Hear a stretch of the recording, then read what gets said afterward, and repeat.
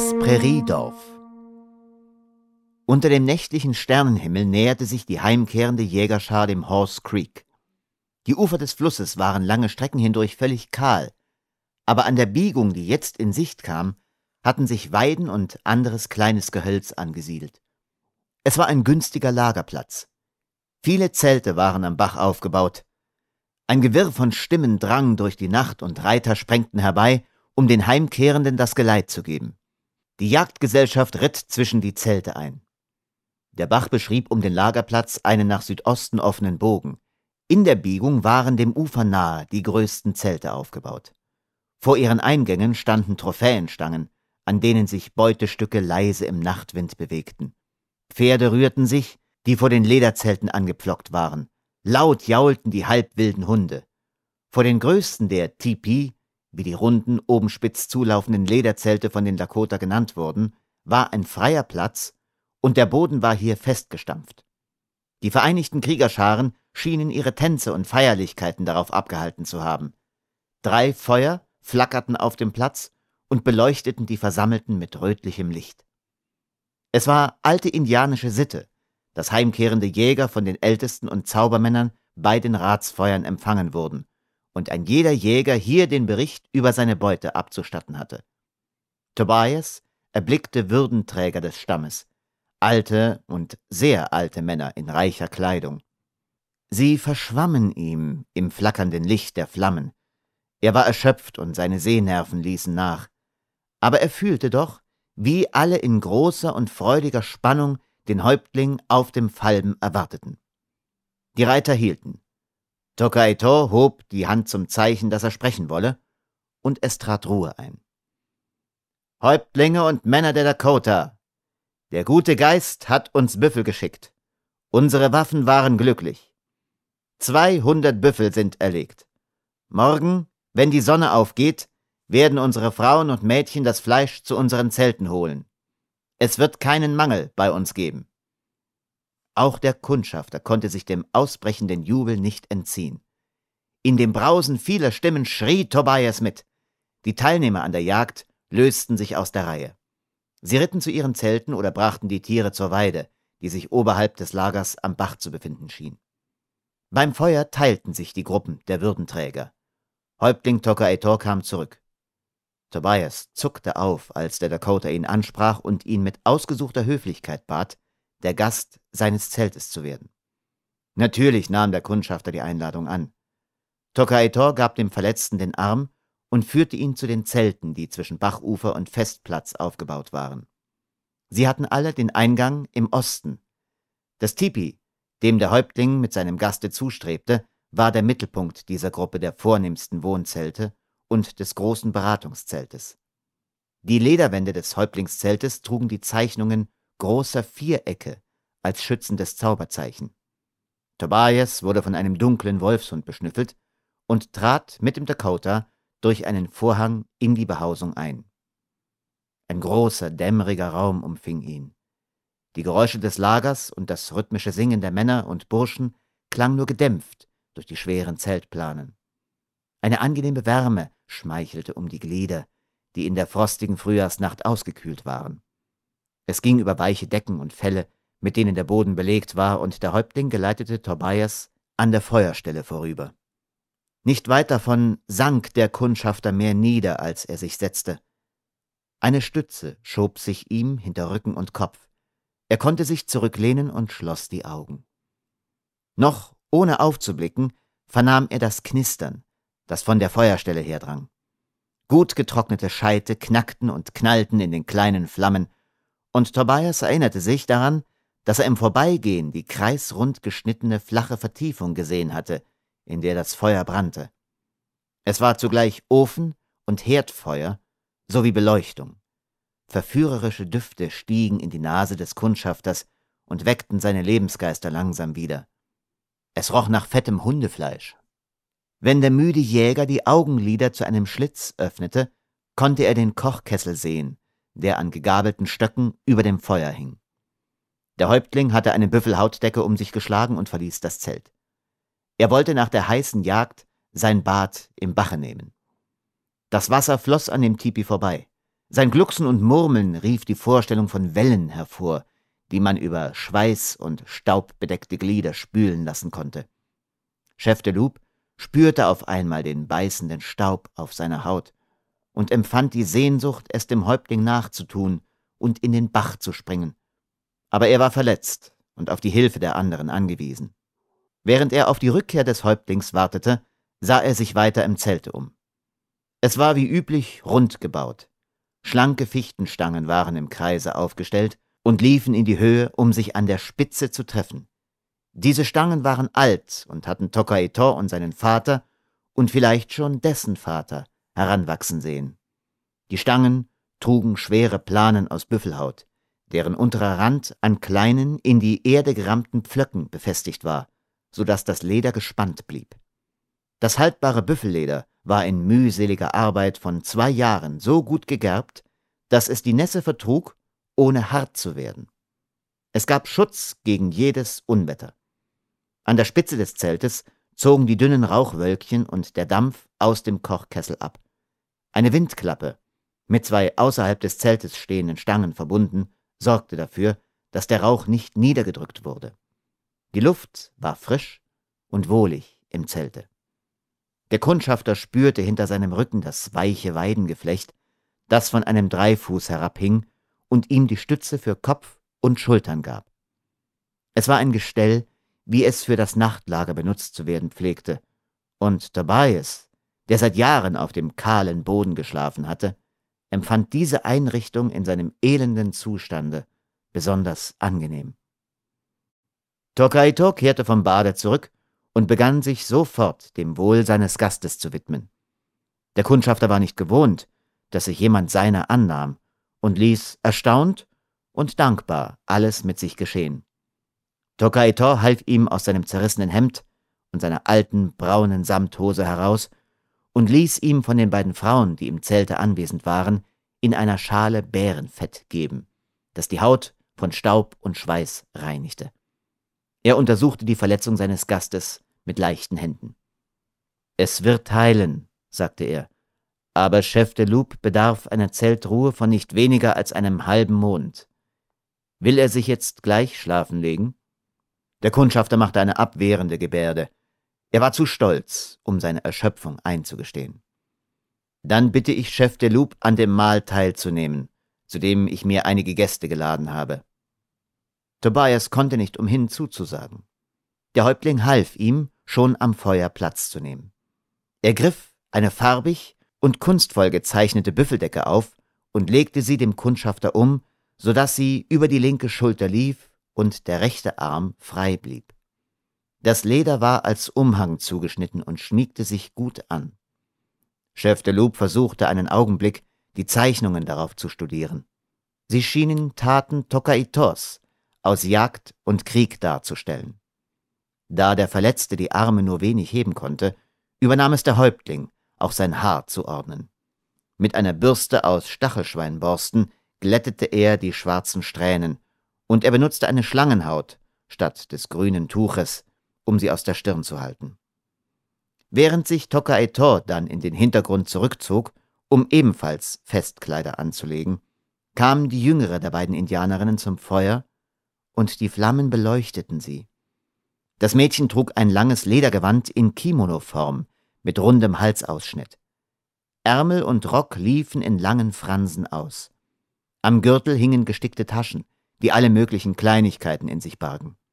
Anstelle der Strümpfe trug die Indianerin gestickte Lederhosen, die bis zu den zierlichen Moccasins reichten.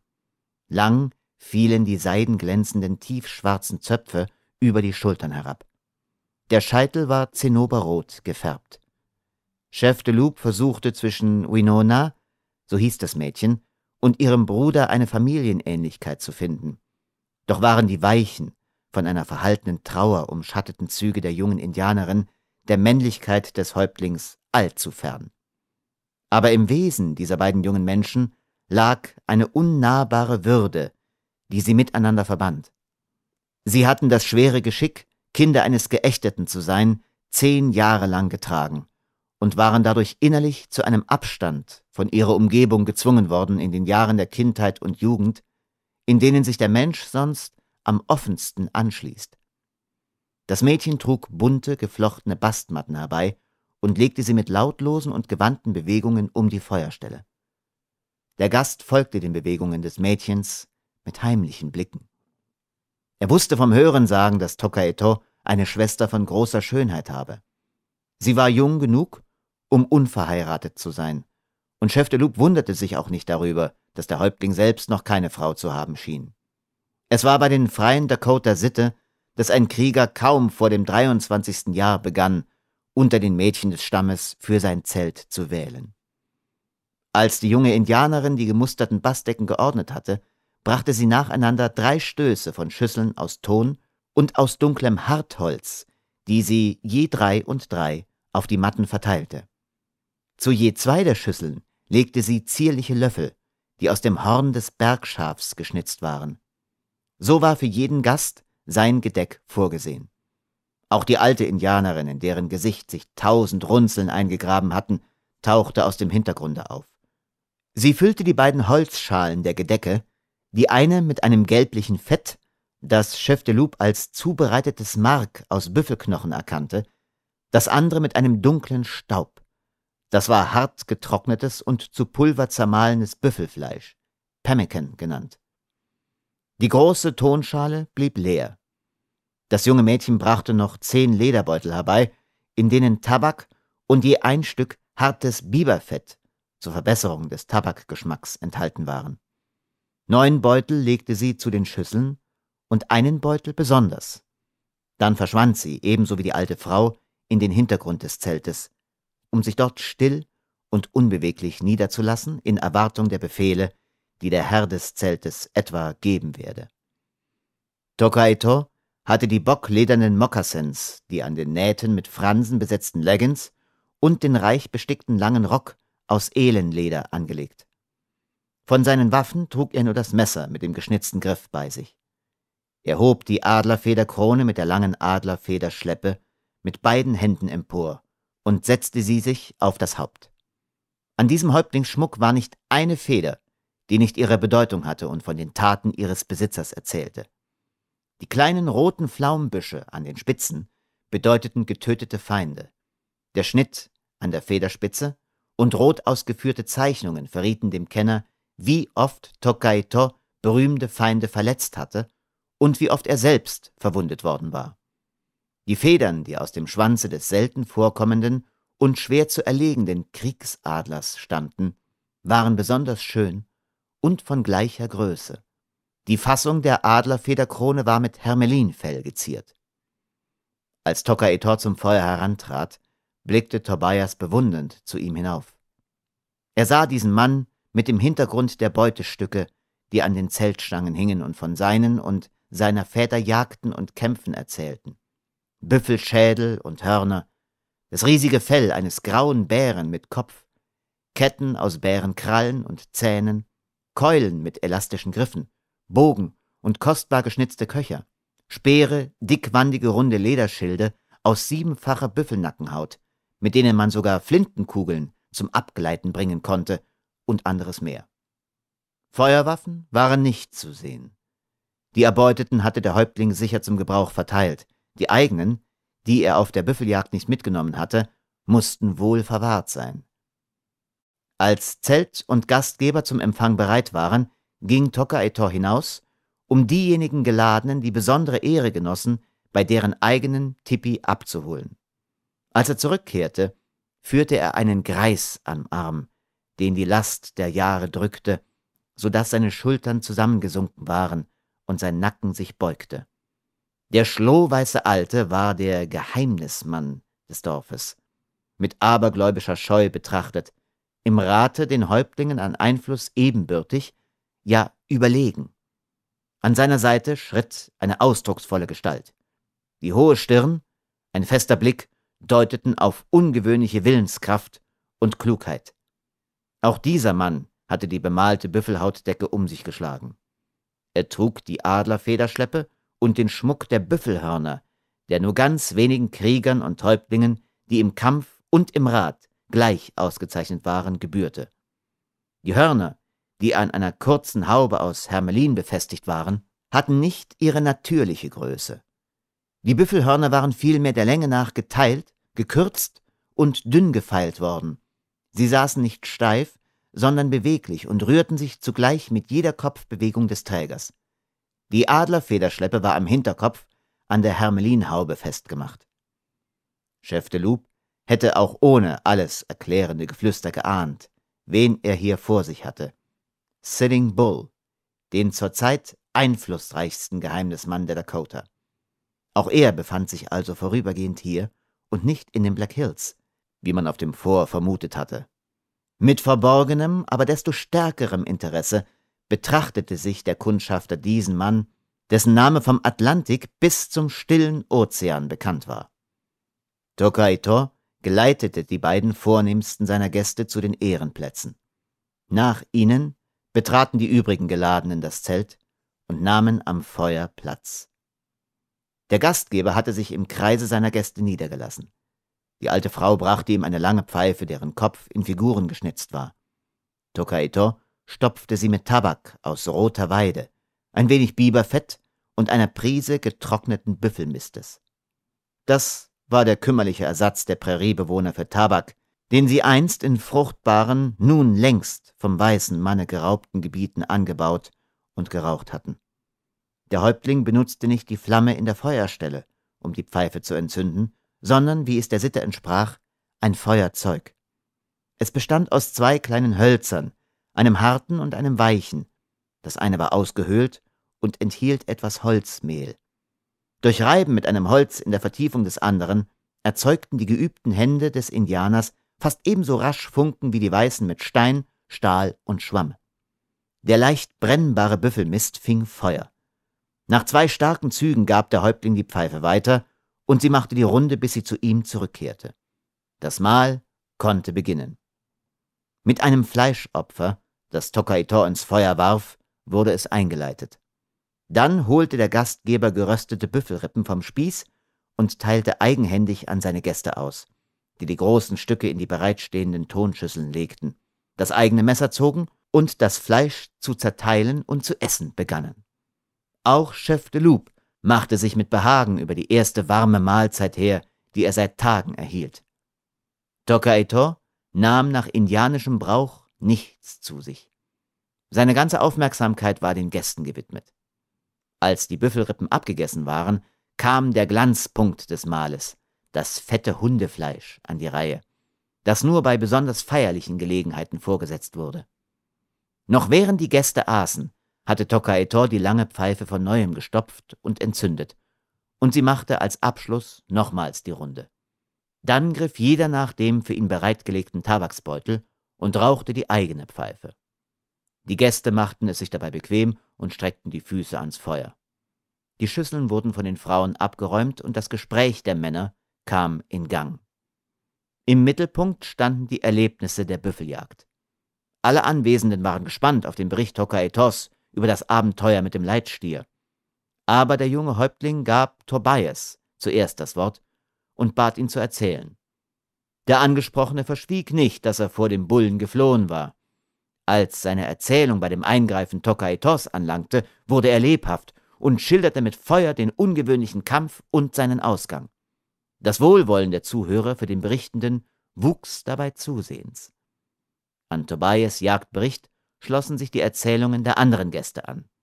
Hundert Jagderinnerungen wurden wach und gaben zu immer neuen Berichten von kühnen Taten und heiteren Geschehnissen Anlass. Das Vergnügen an spannenden und an lustigen Jagdgeschichten war bei den roten Männern nicht geringer als bei den weißen. Der Unterschied, der dem Zuhörer besonders bewusst wurde, lag nur darin, dass die weißen Männer bei ihren Jagdgeschichten gern aufschnitten, während die roten Männer die Wahrheit liebten, auch wenn sie auf ihre eigenen Kosten ging. Einer der jüngeren Gäste, mit Namen Schlauer Biber, entpuppte sich als guter Erzähler. Er war sogleich beliebt und weckte die Fröhlichkeit rings im Kreise. Das Lachen wollte kaum enden, als er erzählte, wie ihm die Pfeile ausgegangen waren und er einen angeschossenen Stier am Schwanze festhielt. Die Sprünge, die der Biber dabei vollführen musste, auch Chef de Loup konnte sich daran erinnern, waren nicht weniger toll gewesen als die des bockenden Stiers. Der Jäger war zehnmal im Kreise geschleppt worden, aber seine Ausdauer hatte sich gelohnt. Er war Sieger geblieben und brachte die Beute heim. Allmählich erst wurde das Gespräch auch ernsteren Dingen zugelenkt, und Chef de Loup spürte, wie in Sitting Bulls Blick immer häufiger streifte. Schließlich tat der Zauberpriester einen besonders langen Zug an seiner Pfeife und sprach den Boten der weißen Männer an. Mein jüngerer Bruder bringt sprechende Papiere. Der Kundschafter merkte aus der Frage, dass Sitting Bull durch Toka Etor schon unterrichtet worden war, und er erkannte zugleich aus der ehrenden Anrede jüngerer Bruder, dass der einflussreichste Mann der großen Dakota-Stämme zu einer Aussprache geneigt schien. Die Ausdrücke Vater, Bruder, Sohn waren im Rahmen der indianischen gesellschaftlichen Sitten uralte Bezeichnungen. Aus dem früheren festen Zusammenhalt des Sippenverbandes bezeichneten sich alle Gleichaltrigen als Bruder und Schwester. Die Jüngeren nannten die Älteren Vater und Mutter, die Älteren die Jüngeren Söhne und Töchter, ohne Rücksicht darauf, welcher Familie der Einzelne angehörte. Durch die Ehrung, die Tobias widerfuhr, wuchs er innerlich zum Partner seines Gegenübers. Meine Augen sind glücklich, die Häuptlinge des kühnen Dakota-Stammes zu sehen. Ich bitte die Häuptlinge, sich die Botschaft der weißen Männer anzuhören. Die Häuptlinge der Dakota werden morgen im Zelte der Beratung die Botschaft ihren Kriegern bekannt geben, erwiderte Sitting Bull mit der ihm eigenen Würde, und er nahm die Briefe an sich, die Tobias ihm reichte. Von welchem Stamm sind die Väter des Wolfshäuptlings? fragte der große Geheimnismann dann den Kundschafter. Meine Väter und Brüder sind vom Stamme der Lenape, die von den weißen Männern der Lavaren genannt werden. Wo lebt der große und mächtige Stamm der Lenape? Unsere ältesten Männer haben uns die Kunde aus dem Munde ihrer Väter und wieder deren Väter gebracht, dass der tapfere Stamm der Lenape gegen Sonnenaufgang zu an der Küste des großen Wassers lebt. Ein sehr weiser Lenape-Häuptling mit Namen Tamen und hat einen Vertrag mit den weißen Männern für ewige Zeiten abgeschlossen. Das ist wahr. Wir haben einen Vertrag mit einem weißen Häuptling geschlossen. Und dieser und seine Männer hielten auch Wort. Auch der Delaware tat jetzt einen sehr langen Zug an seiner Tabakspfeife. Aber es kamen mehr und mehr und immer wieder Fremde, die von diesem Vertrag nichts wussten, und die Häuptlinge der Lenape mussten immer neue Verträge schließen. So sind meine Väter gewandert von dem Flusse Delaware bis zu dem Flusse Susquehanna. Und von dem Flusse Susquehanna zu den Bergen der Alleghanies. Und von den Bergen der Alleghanies zum Flusse Ohio. Und von dem Flusse Ohio zum Illinois und vom Illinois zum Mississippi und vom Mississippi sind sie endlich zum Missouri getrieben worden. Sie mussten wandern und immer wieder wandern, im Sommer und auch im Winter, wenn unsere Weiber und Kinder vor Kälte und Hunger starben. Meine Väter sind dem Häuptling Tecumseh gefolgt, der die Krieger aller Stämme zu sich rief, und zu dem auch die tapfersten der Dakota kamen, und sie haben in der großen Schlacht von Tippecanoe gekämpft. Sie sind dabei gewesen, als wir den toten weißen Männern Erde in den Mund gaben, damit sie endlich satt würden an unserem Land. Aber sie sind nicht satt geworden. Unsere Männer, unsere Weiber und unsere Kinder sind gewandert und gestorben, und die noch lebten, haben von dem Zauberwasser der weißen Männer getrunken, um ihren Kummer zu vergessen. Einige aber von ihnen sitzen auf der Reservation, Sie lassen sich dort von einem weißen Vater und von roten Wächtern, die in seinem Dienst stehen, vorschreiben, wie sie leben müssen, damit sie werden wie die weißen Männer. Die Zuhörer hatten der wachsenden Leidenschaft, mit der der Delaware sprach, mit Erstaunen zugehört. Als er abbrach, ergriff keiner sogleich das Wort. Es trat ein Augenblick des Schweigens ein, der wie ein Augenblick der Ehrung für den todesmutigen und fruchtlosen Kampf eines großen und edlen Volkes wirkte. Unser Bruder Chef de Loup ist selbst auf einer Reservation geboren? fragte Sitting Bull mit gedämpfter Stimme. So ist es. Ich bin mit vierzehn Jahren von dort entflohen und in den Dienst der Milahanska, der Langmesser, gegangen. Chef de Loup ist von einer Reservation entflohen. Rät er dem Stamme der Dakota auf eine Reservation zu gehen? Die Mienen des Delawaren verschlossen sich wieder. Ich habe den großen Häuptlingen der Dakota keine Ratschläge zu geben, da ich den Männern meines eigenen Stammes nicht zu raten weiß. Wir können die weißen Männer nicht besiegen. Auch die Wachuchin haben Verluste, wenn sie gegen uns kämpfen. Will Tatanka Yotanka den Krieg? Chef de Loup redete Sitting Bull absichtlich in der Dakota-Sprache an. Wir wollen nichts als die Prärie und unser Recht. Die weißen Häuptlinge sind bereit, mit Sitting Bull und Tokaitor zu verhandeln. Wer will mit uns beraten? Colonel Jackman im Hause des Samuel Smith am Flusse Minnetonka Wakpala. Der große Vater von Washington wird nicht selbst kommen, um mit Tatanka Yotanka zu sprechen? Das wird ihm nicht möglich sein.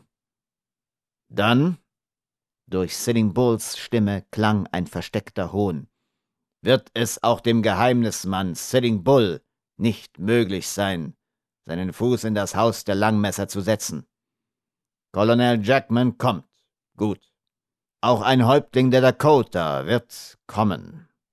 Sitting Bull zögerte das letzte Wort etwas hinaus, und sah Tokaito an, der schweigend zugehört hatte. Auch der weißhaarige Alte mit seinem stechenden Blick und Chef de Loup schauten jetzt auf den jungen Kriegshäuptling. Tokaito zögerte. Verrat ist möglich. Bei den Langmessern, sagte er nach einer langen Pause. Es hat Häuptlinge gegeben, die bei Verhandlungen gefangen wurden. Der Delaware senkte den Blick und dachte in diesem Augenblick an Red Fox, der die Botschaft Jackmans auf das Blockhaus gebracht hatte. Ahnte Tokaito etwas von ihm? Tobias ließ die Verdächtigung, die der junge Häuptling ausgesprochen hatte, zunächst absichtlich unbeantwortet. Seine Augen liefen zwischen den Häuptlingen hin und her. Die Männer schienen sich in einem stummen Ringen zu befinden, und Chef de Loup wartete mit Spannung, wie es ausgehen werde. Sitting Bull war ein anerkannter Gebieter im Stamme. Er hatte Tokaitos Vater geächtet, und er hatte die Bärenbande und ihren ältesten Hawanchita Kraft seines Ansehens gezwungen, nach dem Tode Matotorpes den Sohn trotz aller bestehenden Blutfäden wieder im Stamme aufzunehmen. Tokaito war am Himmel der Dakota erschienen wie ein Komet. Eben noch fremd und tödlich gehasst, stand er nun plötzlich in ihrer Mitte, ausgezeichnet durch unerhörte Kriegstaten und klugen Rat, bewundert und zugleich gescheut. Sitting Bulls Ruhm und Ansehen schienen fest verwurzelt wie ein Baum. Der junge Tokaito, Kriegshäuptling einer kleinen Bande, erkämpfte seine Würde täglich neu, und es durfte keinen Augenblick geben, in dem der Sohn des Geächteten in seiner Kraft und seiner Verwegenheit nachließ oder auch nur nachzulassen schien denn unter der Decke lauerte der Hass gegen den, unter dessen Messer der eigene Bruder und viele tapfere Krieger gefallen waren. Chef de Loup beobachtete einen der stillgebliebenen Gäste, der ihm mit dem Namen Schonka vorgestellt worden war, und er erschrak über die Gehässigkeit, mit der dieser Gast in vermeintlich unbeobachteten Augenblicken den Häuptling betrachtete. Auch die Mienen des alten Hawanchita waren nicht freundlich. Das Schweigen der ausgezeichneten Männer dauerte bedrückend lange.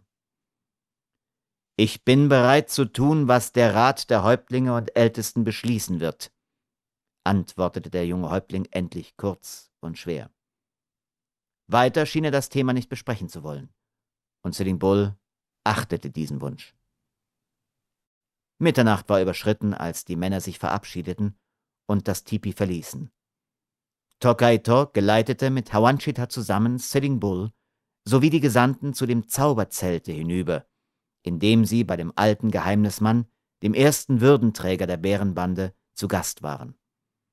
Als der Häuptling zurückkehrte, fand er außer Chef de Loup und den Frauen auch den schlauen Biber noch in seinem Zelte vor und jenen hageren Krieger, der den Delawaren beim Heimritt von der Jagd mit auf das Pferd genommen hatte. Der Delaware beobachtete, wie sich die Mienen des Häuptlings beim Anblick der beiden erheiterten. Tokaito ging auf den Biber zu und legte ihm die Hand auf die Schulter. Wie steht es mit meinem Bruder, dem Schlausten im Stamme der Dakota? Hat mein Mahl gereicht, um seinen Magen so weit zu füllen, dass er die hungrigen Tage, die ihm die Frauen seines Zeltes bereiten, wiederum zu überstehen vermag? Der spottlustige Hagere lachte, der Biber aber zog ein säuerliches Gesicht. Gespiele meiner Knabenzeit, erwiderte er dem Häuptling, warum willst du nach diesem wohltuenden Male einen Speer in mein Herz bohren und deine Zunge von jenen Weibern reden lassen, die der Kummer meines Lebens sind? Ich bin erstaunt, mischte sich der Junggeselle Schäftelup ein. Warum hat der schlaue Krieger Frauen in sein Zelt geführt, die ihm nicht behagen? Er mag sie doch wieder fortschicken. Der Hagere lächelte wieder. Der Biber aber sah den Delawaren mit dem Blick eines sterbenden Hirsches an. In mein Zelt geführt? O oh, Chef de Loup, ich habe überhaupt noch kein Weib in mein Zelt geführt, obwohl mein Auge schon vierundzwanzig Winter gesehen hat. Ich habe alle diese Frauen in meinem Zelte vorgefunden, die Mutter meiner Mutter, drei Töchter meiner Eltern, deren Männer im Kriege gefallen sind, und drei Töchter dieser Töchter, die noch kein Krieger zum Eheweib begehrte. So gibt es im Zelte des Bibers viele Hände, die arbeiten können. Der Biber betrachtete Chef de Loup misstrauisch. Will Chef de Loup eine fleißige Frau haben? Ich kann sie ihm geben. Der Delaware, der ein Weiberfeind war, winkte ab. Ich würde es dem Häuptling der Delawaren auch nicht raten, meinte der Biber ehrlich. Das Schlachtbeil Tokaitos ist scharf. Schärfer noch sind die Zungen, die in meinem Zelte herrschen. Der Häuptling hatte sich von seiner Schwester eine Schüssel reichen lassen, in der etwas Rötliches, Schwabbelndes lag, und reichte die Schüssel dem Biber. Hier, sagte er, dies zur Buße dafür, dass ich meinen Gast an den Kummer seines Lebens erinnert habe. Die Augen des Bibers glänzten auf. Oh, oh, die Leber der Hunde. Welche Köstlichkeit. Großer Tokaito, soll ich diese Schüssel allein ausessen? Das sollst du, Gespiele meiner Knabenzeit. Wenn du es kannst, bemerkte der Hagere ungefragt. Kann? Zwei Hundelebern essen? Ich? O du dürre Pappel! Der Biber war geradezu beleidigt über den Zweifel an seiner Magenfestigkeit. Das rohe Hundeleberessen wurde von den roten Männern als eine Art Sport betrieben, und gelegentlich wurde die Probe gemacht, wer am meisten davon vertrage. Ein Brauch, der dem Wettkampf der Weißen, sich gegenseitig unter den Tisch zu trinken, in seiner Weise ähnlich war. Zwei Hundelebern essen, sprach der Biber weiter, der sich gar nicht beruhigen konnte. Weißt du nicht mehr, mein fleischarmer Bruder, wie ich bei dem letzten Hundetanze gesiegt habe? Ich habe fünfzehn Lebern gegessen, ohne dass mir schlecht wurde. Die anderen Krieger aber hatten längst auf eine erbarmenswerte Weise den Kampfplatz verlassen, um in die Büsche zu gehen. So war es, bestätigte der Hagere ernsthaft. Aber nun magst du zusehen, ob es dir mit diesen zwei Lebern auch glückt. Warum nicht glückt? Was ist damit? Sehen sie nicht gut und zart? Ich denke, sie sind es, meinte Tokaito und betrachtete die Lebern im Feuerschein. So werdet ihr sehen, wie schnell. Der Biber griff mit beiden Händen zu, hielt die Lebern in die Höhe, je eine mit der rechten und die andere mit der linken Hand, öffnete den Mund und ließ seine Augen absichtlich, spaßhaft wie an Stielen hervorquellen. Wie schnell ich sie zu essen vermag, vollendete er und schlug die Zähne in die eine Leber ein. Da geschah etwas Unerwartetes. Der schwarze Hund fuhr im Sprung empor und schnappte, ehe der Biber es sich versah, zweimal zu, dann fuhr der Räuber wie der Blitz mit zurückgelegten Ohren aus dem Zelt hinaus. Man hörte von draußen das kurze, schmatzende Schlingen, mit dem der Glückliche die Reste seiner gemästeten Artgenossen bedenkenlos vertilgte. Der Biber war verblüfft. Er stand da, die leeren Hände noch erhoben, zwischen den Zähnen einen Fetzen Leber.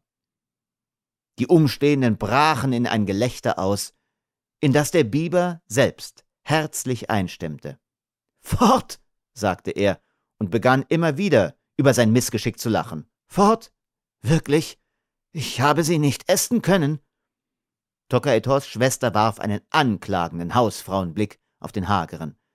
Sie hatte ebenso wie Chef de Loup beobachtet, wie er dem großen Wolfshunde Zeichen gab. Auf einen Wink des Häuptlings löste sie jetzt die Büffelrippen vom Spieß, teilte sie und reichte die Hälfte in der Schüssel dem Biber. Der Schlaue schabte sofort das Fleisch vom Knochen, um es in seinem Magen in Sicherheit zu bringen. Oh, sagte er dabei zwischen dem Kauen, Tokaitor ist und bleibt ein großer Häuptling. Der Herr des Zeltes hatte nicht nur die Alten und Würdigen, sondern auch den appetitreichsten Gast voll zufriedengestellt. Die beiden Freunde, Biber und Schwarzfalke, verließen als letzte das Tipi. Sie waren einander sehr ungleich, auch in der äußeren Erscheinung.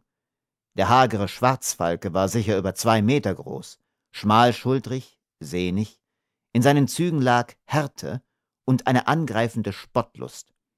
Der Biber machte einen fremdartigen Eindruck unter den Dakota. Er war breiter gebaut als die anderen, von wahrhaft athletischem Wuchs. Sein schwarzes Haar war nicht straff, sondern kraus.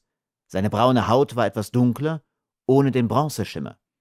Über seine Mienen huschte das rasch wechselnde Spiel von Schlauheit und Humor. Chef de Loup hatte von den beiden Freunden oft erzählen hören. Schwarzfalke, Chetansapa in der Sprache der Dakota, war der Anführer des Bundes der Roten Hirsche und dem Delawaren schon mehr als einmal auf dem Kriegspfad begegnet. Der Biber, Chapa war der Sohn eines Negersklaven, der nach einer gefahrenreichen Flucht bei den Dakota gastlich aufgenommen worden war. Er hatte in ein Zelt der Bärenbande geheiratet, deren Ernährer auf der Jagd verunglückt war. Die Dakota nahmen gern tapfere Männer bei sich auf, auch wenn sie eine andere Hautfarbe trugen. Nachdem Tokaitor sich noch nachträglich gesättigt hatte, deckten die Frauen das Feuer und bereiteten die Lagerstätten. Chef de Loup sank ermattet und steif auf die Decken und Felle, die die Häuptlingsschwester über das Schlafgestell gebreitet hatte. Seine Rückenverletzung hatte sich durch die Anstrengung dieses Abends noch verschlimmert. Die Frauen gingen zusammen zur Ruhe. Tokaitors Lagerstatt blieb unbenutzt. Der Häuptling hatte sich in eine alte, gebrauchte Büffeldecke gewickelt und am Rande des Zeltes niedergelegt. Die Zeltwand war an dieser Stelle noch aufgeschlagen und wurde durch einen gegabelten Stock etwas hochgehalten, so dass die bitterkalte Nachtluft hereinstrich. Ohitika, der Wolfshund, war zurückgekehrt. Zusammengerollt zum Schlafe diente er seinem Herrn als Kopfkissen. Der Delaware sah hinüber zu dem schlafenden Häuptling. Er erkannte nur den dunklen Schatten, nicht einmal die Atemzüge waren zu hören. Draußen rauschte der Fluss. Zwei einsame Flöten klagten in der Frühlingsnacht in einfachen, sich immer wiederholenden Tönen. Es war das Liebeslied der jungen Krieger, das von Winona, der schönen Häuptlingsschwester, nicht erhört wurde. Das Lied war schön wie das Wunder der Frühlingsblüten auf rauen Steppen und schwang in dem Herzen des Delawaren nach. Tobias, der mürrische Kundschafter, hatte schon lange kein Weib mehr angesehen mit dem Namen Wolfshäuptling und den Erinnerungen an den stolzen Delawarenstamm aber rührten sich in ihm auch die Empfindungen eines Mannes, der von dem Zauber einer echten Tochter der Prärie erregt wurde. Die uneingestandenen Gefühle für das Mädchen übertrugen sich unwillkürlich in eine verborgene Freundschaft für ihren Bruder, der der Lebensretter des Delawaren war. Chef de Loup erbitterte sich im Stillen über den Zwang, den die Geheimnismänner des Stammes auf den jungen Häuptling ausübten. Sie wollten ihn als Unterhändler zu den weißen Männern senden, deren Absichten Tokaitor offenbar auf das Stärkste misstraute. Der Delaware hoffte, dass die Ratsversammlung des kommenden Tages in anderem Sinne entscheiden werde. Chef de Loup kam in dieser Nacht nicht zur Ruhe. Er lag noch wach, als der erste Schimmer des Morgengrauens in das Zelt drang. Winona hatte ein Dutzend Hunde oder mehr zusammengerufen. Schwarze, braune, weiße, gefleckte, große und kleine. Mit der Hilfe der Alten, die sie als Onchida, Großmütterchen ansprach, band sie den unruhigen Tieren mit Schnüren aus Büffeldärmen Lederdecken auf den Rücken. Die Hunde wurden bei den Indianern als Tragtiere gebraucht und sollten bei der Einbringung der Jagdbeute des Vortages mithelfen. Pferde wurden herbeigeführt, und eine große Zahl von Frauen und Mädchen sammelte sich auf dem Dorfplatz. Zu Pferde zogen sie unter Führung der Häuptlingsschwester aus, um die erlegten Büffel auszunehmen, zu zerteilen und Fleisch, Knochen und Häute ins Dorf zu schaffen. Chef de Loup sah den Ausziehenden nach, bis sie verschwunden waren. Dann wurde die Zeltwand herabgelassen und Tobias schloss müde die Augen. Es wurde Abend, bis er wieder erwachte. Tokaitor kam eben in sein Zelt zurück, und der Delaware erfuhr, dass die Ältesten den ganzen Tag beraten und endlich beschlossen hatten, den Häuptling, der Einladung des überbrachten Schreiben gemäß, auf die Blockhausstation zu entsenden. Der zusagende Antwortbrief war bereits auf Leder in der Bildersprache der roten Männer geschrieben, und der Häuptling überreichte dem wunden Delawaren dieses Dokument. Zum ersten Mal freute sich Chef de Loup über die Verletzungen, die ihm der Büffelstier beigebracht hatte. Auch beim besten Willen konnte er die Botschaft noch nicht auf die Blockhausstation bringen, und weder er selbst noch Tokaito hatten ein Interesse daran, einen anderen Boten zu schicken. Hatte Chef de Loup in der vergangenen Nacht infolge seiner inneren Unruhe nicht geschlafen, so wurde er in der jetzt beginnenden durch die äußeren Vorgänge gestört. Als die Sonne gesunken war, begann der Auszug der großen Kriegerscharen, die sich bei den Zelten der Bärenbande nur gesammelt hatten, ohne zu dieser Abteilung zu gehören. Pferde stampften, Stimmen riefen, Hunde bellten. Dann war auf einmal alles verschwunden. Bald darauf aber kehrten in der Sternennacht die berittenen Frauen mit der Büffelbeute zurück.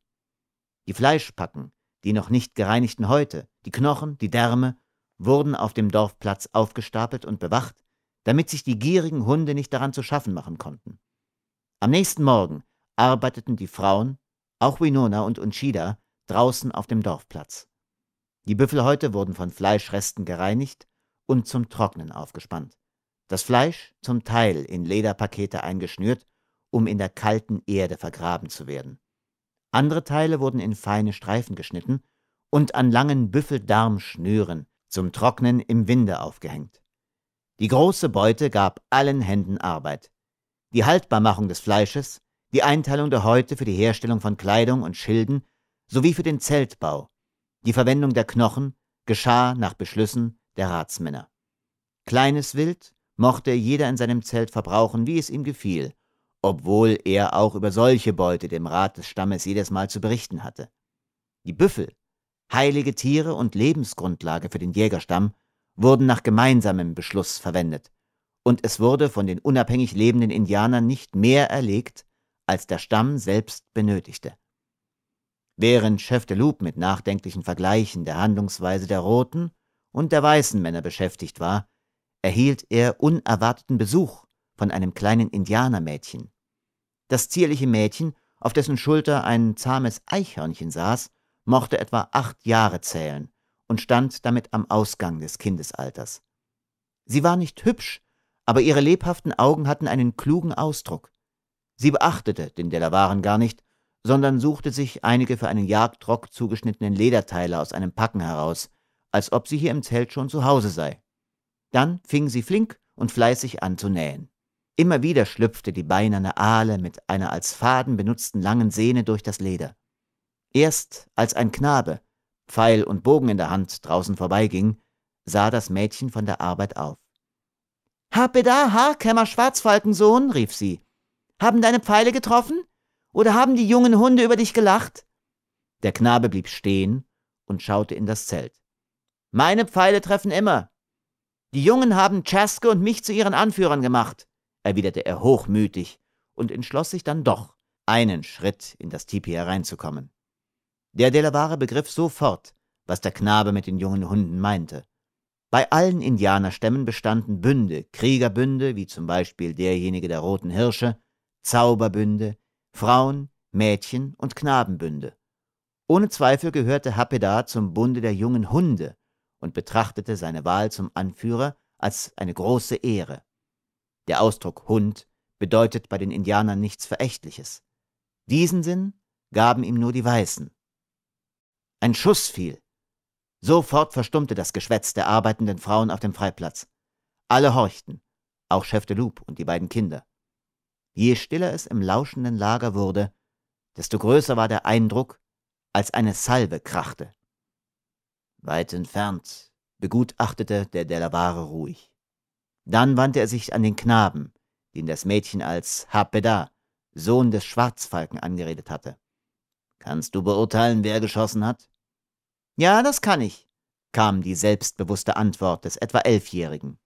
Weiße Männer, die Gold suchen, haben geschossen. Tokaitor ist heute am Morgen mit unseren Kriegern gegen sie ausgezogen. Es sind etwa zehn weiße Männer, und die Ohren des Wolfshäuptlings vom Stamme der Delawaren werden auch vernommen haben, dass ungefähr zehn Schüsse auf einmal gefallen sind. Das sind die Mazawaken der Wachuchin. Die Kugeln der Bärenbande sind zu schade für diese schmutzigen Ratten. Wir vertreiben sie mit unseren Pfeilen. Hau! rief das kleine Mädchen. Unsere Kugeln sind zu schade, und wenn uns Monito auch hundert Geheimniseisen bringt, so werden wir doch nicht auf diese Kojoten damit schießen. Chef de horchte auf. Monito? Das war der Name eines berühmten Waffenschmugglers, eines geheimnisvollen Mannes, den noch kaum einer zu Gesicht bekommen hatte, mit dessen Namen sich aber Erzählungen von den frechsten Schmugglergeschäften verbanden. Schweig! sagte Hapeda streng zu der Kleinen. Was schwatzest du? Du bist aus einem Zelte von Verräterinnen. Der Knabe zog ab. Das Mädchen senkte den Kopf tief. Es fing wieder an zu nähen, aber seine Augen schwammen von unterdrückten Tränen. Nahm es sich den Vorwurf, in Gegenwart eines Fremden von der Verbindung der Bärenbande zu einem Waffenschmuggler geschwatzt zu haben, so tief zu Herzen? Oder steckte hinter Hapedas Vorwurf noch mehr? Was bedeuteten die Worte aus einem Zelte von Verräterinnen? Chef de Loup betrachtete das Mädchen aufmerksamer. Sie schien ihm eine Familienähnlichkeit mit dem schlauen Biber zu haben. Kamen sie aus dem Tipi der sieben Weiber des Chapa? Du bist keine Verräterin, tröstete Chef de Loup die Kleine. Meine Zunge schweigt. Das Mädchen blickte erleichtert auf. Für Chef de Loup nähe ich diesen Rock, erzählte sie. Ich will ihn sehr gut nähen, damit die Frauen der Wachuchi nicht sagen können, die Mädchen der Dakota seien ungeschickt. Mein Name ist Blitzwolke. Die weißen Mädchen sind ungeschickter als die roten, sagte der Delaware überzeugt und dachte daran, dass Kath, die mehr als doppelt so viele Jahre gesehen hatte wie Blitzwolke, noch nicht einmal sich selbst ein Kleid nähen konnte. Bei den Wachuchin gibt es Krieger, die Röcke für kleine Mädchen nähen, berichtete er. Blitzwolke lachte hell auf. Die Weißen sind überhaupt sehr merkwürdige Menschen, meinte sie. Mein Oheim, der schlaue Biber, hat mir erzählt, dass sie sich umgestülpte Töpfe aufsetzen und sich das Feuer über dem Kopfe aufhängen. Blitzwolke meinte die Hüte und Lampen. Ja, das tun sie. Schlauer Biber ist der Bruder von Blitzwolkes Mutter. Dann hast du einen sehr tapferen Oheim. Er ist tapfer, und ich liebe ihn sehr. Darum bin ich oft betrübt, dass der feindliche Geist, der in der Mutter seiner Mutter wohnt, ihm viel Kummer macht. Kann Chef de Loup mit Geistern sprechen? Nein. Blitzwolke seufzte. Sie schien zu dem fremden Gast schon viel Vertrauen gefasst zu haben, und Chef de Loup freute sich darüber, wenn es auch nur ein sehr kleines Mädchen war, bei dem er diese Anerkennung fand. Hawanchita, unser großer Geheimnismann, kann den bösen Geist, der in unserem Zelt wohnt, auch nicht bezwingen, schüttete Blitzwolke weiter ihr Herz aus. Dieser Geist lügt viel, er sagt immer, dass die Dakota besiegt werden. Aber das ist nicht wahr. Der lügnerische Geist hat mich schon geschlagen, weil ich ihm widersprochen habe. Du weißt wohl, dass es keinem Knaben oder Mädchen der Dakota sonst je geschieht, dass sie geschlagen werden. Chef de Loup empfand ein bitteres Schamgefühl, denn er dachte an die Schläge, die er selbst von den weißen Männern erduldet hatte. Blitzwolke tat ihm leid. Er begriff jetzt, warum Hapeda von einem Zelte von Verräterinnen sprach. Wenn der Delaware auch überzeugt war, dass die pessimistische Großmutter im Biberzelte den Kriegsausgang richtiger prophezeite als der falkenäugige Hawanchita, so mochte es doch für den Biber und seine kleine Nichte oft sehr schwer sein, mit einer von einem Geiste Besessenen zusammenzuhausen. Alle Erscheinungen des Wahnsinns oder anderer schwerer nervöser Leiden hielten die Indianer die sich diese Krankheiten nicht erklären konnten, für die Auswirkungen spezieller Geister und sie begegneten solchen Kranken mit einer außerordentlichen Geduld. Blitzwolke nähte schweigend weiter. Tokaito war noch nicht heimgekehrt. Winona und Unchida blieben bis in die Nacht auf. In verborgener Angst schienen sie auf den Ausgang des Kampfes und den Häuptling zu warten. Längst waren Stille und Dunkelheit im Lager vollkommen geworden, als endlich von ferne der helle Siegesruf ertönte. Die Frauen eilten hinaus, die Hunde jaulten. Bald darauf erlebte Chef de Loup den Einzug Tokaitos mit einer kleinen Schar. Von dem vor Freude bellenden Hunde begleitet, betrat Tokaito sein Zelt. Die Spuren schwerer Kämpfe waren an ihm wahrzunehmen. Halb aufgelöst fiel sein schwarzes Haar über die nackten Schultern.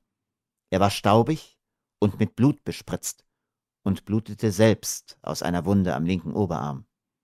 Der Häuptling kam sofort zu seinem Gast heran, begrüßte ihn auf dem Lager und erkundigte sich mit gleichmäßiger Höflichkeit nach seinem Befinden. Dann erst erlaubte er Winona, sich um seine eigene Verletzung zu kümmern. Binde nur zu, sagte er. Es war eine verirrte und lahme Kugel, die ins Fleisch ging. Ich habe sie mir herausgeschnitten. Das Mädchen hatte eine breite Bastbinde bereit, die sie anfeuchtete und um den Arm legte. Im Trocknen schlossen sich diese Binden fest und unverrutschbar an. Sobald der Verband in Ordnung war, reinigte sich Tokaitor von Blut und Staub und legte neue Leggings an. Er ließ sich am Feuer nieder und stopfte seine Pfeife, während Winona ein Stück Büffelfleisch an den Spieß steckte. Chef de Loup studierte das Antlitz des Dakota. Auch nach der Verwundung und den Anstrengungen der letzten Tage war an diesem Manne kaum ein Zeichen der Abspannung zu bemerken. Während der Braten zu duften begann, berichtete der Häuptling seinem Gaste kurz von den Ereignissen. Er hatte die Goldsucher im Reiterkampf von dem Weg zum Felsengebirge und vom Zeltlager abgeschnitten, sie zerstreut, verjagt und einige getötet. Die Beute ist nicht schlecht, schloss Tokaitor seinen kargen Bericht. Flinten, Revolver und Munition dazu. Der Häuptling schluckte den Rauch der Pfeife und seine Züge umdüsterten sich auf einmal. Diese Wachuchin sind verjagt, sagte er. Wann aber werden die Nächsten kommen? Die Nächsten? Das weiß auch ich nicht zu sagen, erwiderte Chef de Loup mit gepresster Stimme. Aber dieses eine weiß ich. So oft Tokai Tor einen weißen Mann vertreibt, so oft wird es einen Nächsten geben, der kommt. Ihre Zahl ist ohne Ende, und jeder Kampf ist vergeblich. Auch für einen so großen Häuptling wie Tokaito. Selbst die Zaubermacht des Tatanka Yotanka wird die weißen Männer nicht besiegen. Awanchita irrte sich, und seine Geister betrügen ihn. Die Dakota siegen nicht. Das weiß ich sagte der Dakota. Warum kämpft dann Tokaito? Hawanchita hat unseren Männern gesagt, dass sie siegen werden. Und unsere Ratsversammlung hat beschlossen, dass die Bärenbande unseren großen Häuptlingen, das Shunkabitko und Rote Wolke in den Kampf folgen soll, den der Zaubermann Tatanka Yotanka mit seinen Geheimnissen unterstützt. Ein Dakota tötet leicht 50 Langmesser, wenn er sie in den Prärien oder Wäldern aufspürt. Es ist für unsere Krieger schwer zu verstehen, warum sie die Wachuchin nicht wieder aus dem Lande unserer Väter vertreiben können. Tokaito aber kennt die Wachuchin, ihre Zahl und ihre Waffen. Warum rät er nicht zum Frieden? Der Kriegshäuptling sah den Delawaren lange und durchdringend an. Es schien erst, dass er mit diesem schweigenden Blick die Frage abschließen wollte. Aber dann sprach er doch. Warum kämpft Chef de Loup? Die Gegenfrage war nicht mit Hohn oder Vorwurf, sie war mit forschendem Ernst gestellt. Ich diene den Langmessern, weil der Kampf für mich der letzte Weg ist, frei zu sein und nach meiner Art zu leben, gab der Delaware dem Dakota und sich selbst Rechenschaft. Auch rote Männer nehmen rote Männer als Kampfbrüder bei sich auf. Der Delaware senkte die Lider. Ich habe Samuel Smith Treue geschworen. Der Ausdruck in den Zügen des Häuptlings veränderte sich rasch. Das Gespräch war abgeschlossen. Tokaitor begann seinen Pemmican aus der Schale zu löffeln. Nach langer Stille knüpfte Chef de Loup an die erste Mitteilung des Dakota an. Der Häuptling der Bärenbande hat nun mehr Geheimniseisen als Krieger und kann auch Krieger von anderen Banden der Dakota versorgen. Das wird ihm neuen Ruhm bringen. 70 Flinten hat er uns abgenommen, einige den Gambosinos. Und wie viel wird ihm noch Monito bringen, der Zaubermann? Monito, wiederholte der Häuptling. Unsere Augen werden ihn sehen. Er kommt in dieses Zelt. Wie denkt Chef de Loup darüber? Darf seine Zunge schweigen? Der Delaware verstand die Frage des Dakota vollkommen. Chef de Loup diente den Weißen.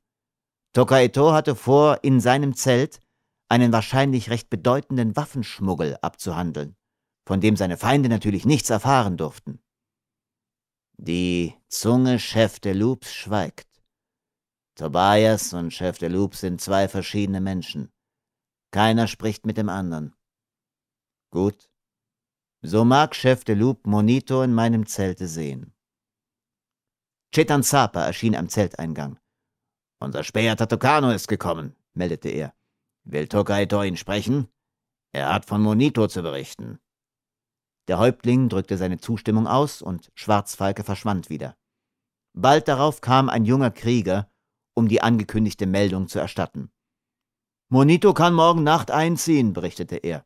Er hat 15 Mann und 30 Maultiere bei sich. Er ist groß von Gestalt, von seinem Gesicht hängt ein Leder, das nur zwei Löcher hat, durch die seine Augen hindurchschauen. Einer seiner Männer, der sehr klein ist, ist mit einem zweiten Manne vorausgeritten, um unsere Zelte schneller zu erreichen.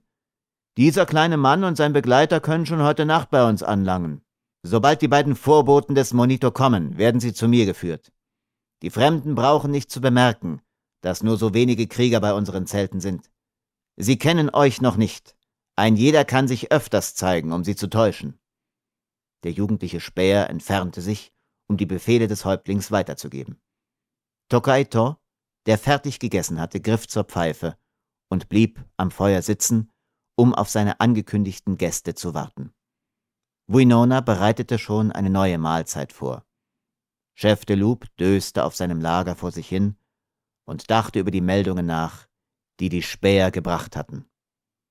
Das Feuer knisterte im Zelte und warf seinen Schein in wandernden Flecken auf die hohen Lederwände und ein herabhängendes Bärenfell. Im Würgegriff des Wucherers. Chef de Loup schrak auf. Draußen war Unruhe entstanden. Der Zelteingang wurde aufgerissen und Schwarzfalke erschien wieder. Ha! lachte er den Häuptling an, als Tokaetor ihm das Zeichen zu sprechen gegeben hatte. Wir haben diesen Mann hergeleitet. Diesen Mann. Aber Tokaetor mag selbst sehen. Er ist der Vorbote Monitos. Wenn Monito ihm ähnlich ist, nun, so mag er uns nur alle seine Waffen verkaufen. Er kann sie dann selbst nicht gebrauchen. Will der Häuptling diesen Fisch, der an Land geraten ist, an seinem Feuer empfangen? Er ist eines Häuptlingszeltes wenig würdig. Tokaito überlegte kurz. Weiß er etwas? Es mag sein. So führe ihn her. Schwarzfalke ging und kam gleich darauf mit einem höchst merkwürdigen Wesen zurück. Chef de Loup hatte dergleichen in der Prärie noch nie erblickt und schaute von seinem Lager verwundert nach dem neuen Gaste. Ein fast zwergenhaft kleiner Mann war es, der hereingeführt wurde. Seine bunten, schmutzigen Kleider, die ein seltsames Gemisch von Eitelkeit und Geiz verrieten, stachen ab von der fahlen Blässe seines auffallenden Gesichtes. Der Kopf war groß und der Schädel lud weit nach hinten aus. Von einer bedeutenden, gut gewölbten Stirn nahm eine spitze Nase ihren Ausgang, die weit über den kleinen Mund herabhing. Unruhig blickten die Augen in der Umgebung umher.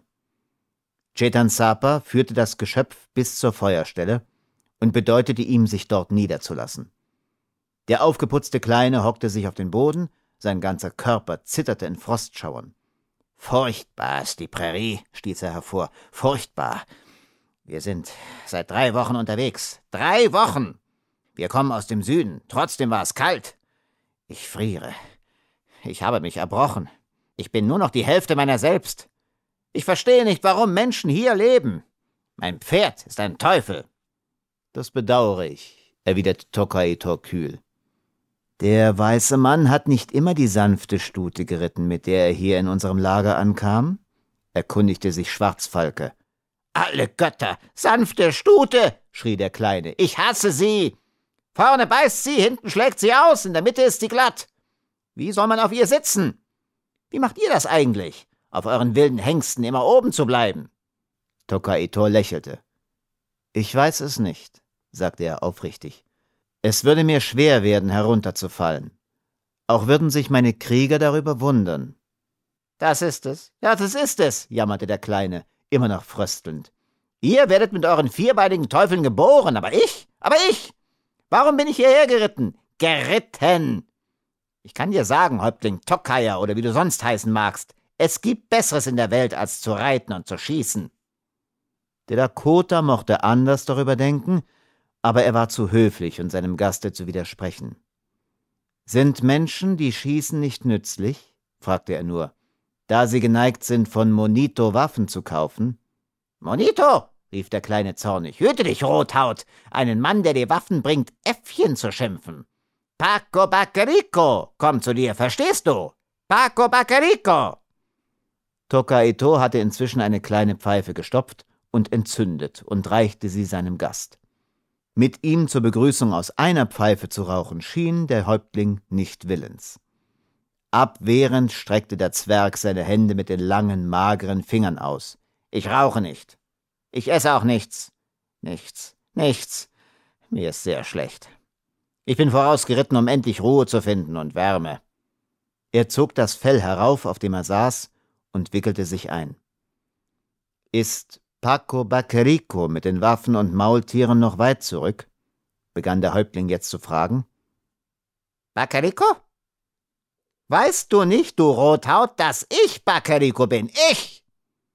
Über die Mienen des Häuptlings wetterleuchtete es. Er sah auf Chetan Sapa. Ich glaubte nicht, dass diese halbzertretene Kröte sich Bacarico Monito schimpfe, erwiderte dieser spitz nach den Berichten unseres Spähers Tatokano wurden die Befehle bei den Maultieren von einem anderen Manne gegeben, der eine Maske trug. Ah, schrie der Zwerg. Von einem anderen gegeben? Ja, von diesem grobschlächtigen Schuft, diesem Präriewolf. Möchten die Bären ihn zerreißen und die Geier ihn fressen. Er ist eine Ausgeburt der Prärie. Er hat mich hierher geschleppt. Nie hätte ich ihm glauben sollen. Er will mich ermorden, ich weiß es. Ah, mir ist er so schlecht. Der Kleine hielt sich mit beiden Händen den Bauch, warf das Fell ab, das er um sich gelegt hatte, und lief schnurstracks zum Zelte hinaus. Schwarzfalke brach in ein höhnisches Gelächter aus. Monito, sagte er, das Äffchen, auf das der Stamm der Dakota gewartet hat. Wahrhaftig, dieser Mann hat gut getan, sich bis zum heutigen Tage von keinem Auge erblicken zu lassen. Möchten seine Waffen etwas besser sein als er selbst. Tokaito lachte nicht. Er sah in das Feuer, über dem das von Monito verschmähte Büffelfleisch röstete. Was denkt Chef de Loup?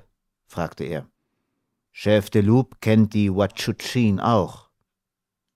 Der Delaware zog die Stirn in Falten. Mich wundert nicht, dass dieser Mann mit dem Namen Bacarico Monito bis heute in den Städten gewohnt hat und sich vor allen Menschen verbarg. Mich wundert nur, dass er jetzt hierher gekommen ist. Und darüber wundert sich anscheinend das Äffchen selbst. Ein anderer hat ihn überredet. Dieser Mann mit der Maske. Wer ist dieser Mann? Das wäre wichtig zu wissen. Ja? Wer ist dieser Mann? Nahm der Häuptling die Frage des Delawaren auf und richtete sie an Chetan Sapa. Der Krieger zuckte mit den Achseln. Ein weißer Mann, sehr groß und stark gewachsen. Tatokano glaubte, es sei Monito.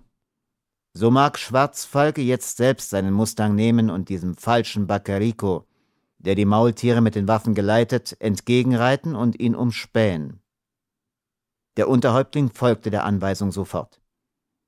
Einige Zeit, nachdem er das Zelt verlassen hatte, erschien der aufgeputzte Kleine wieder.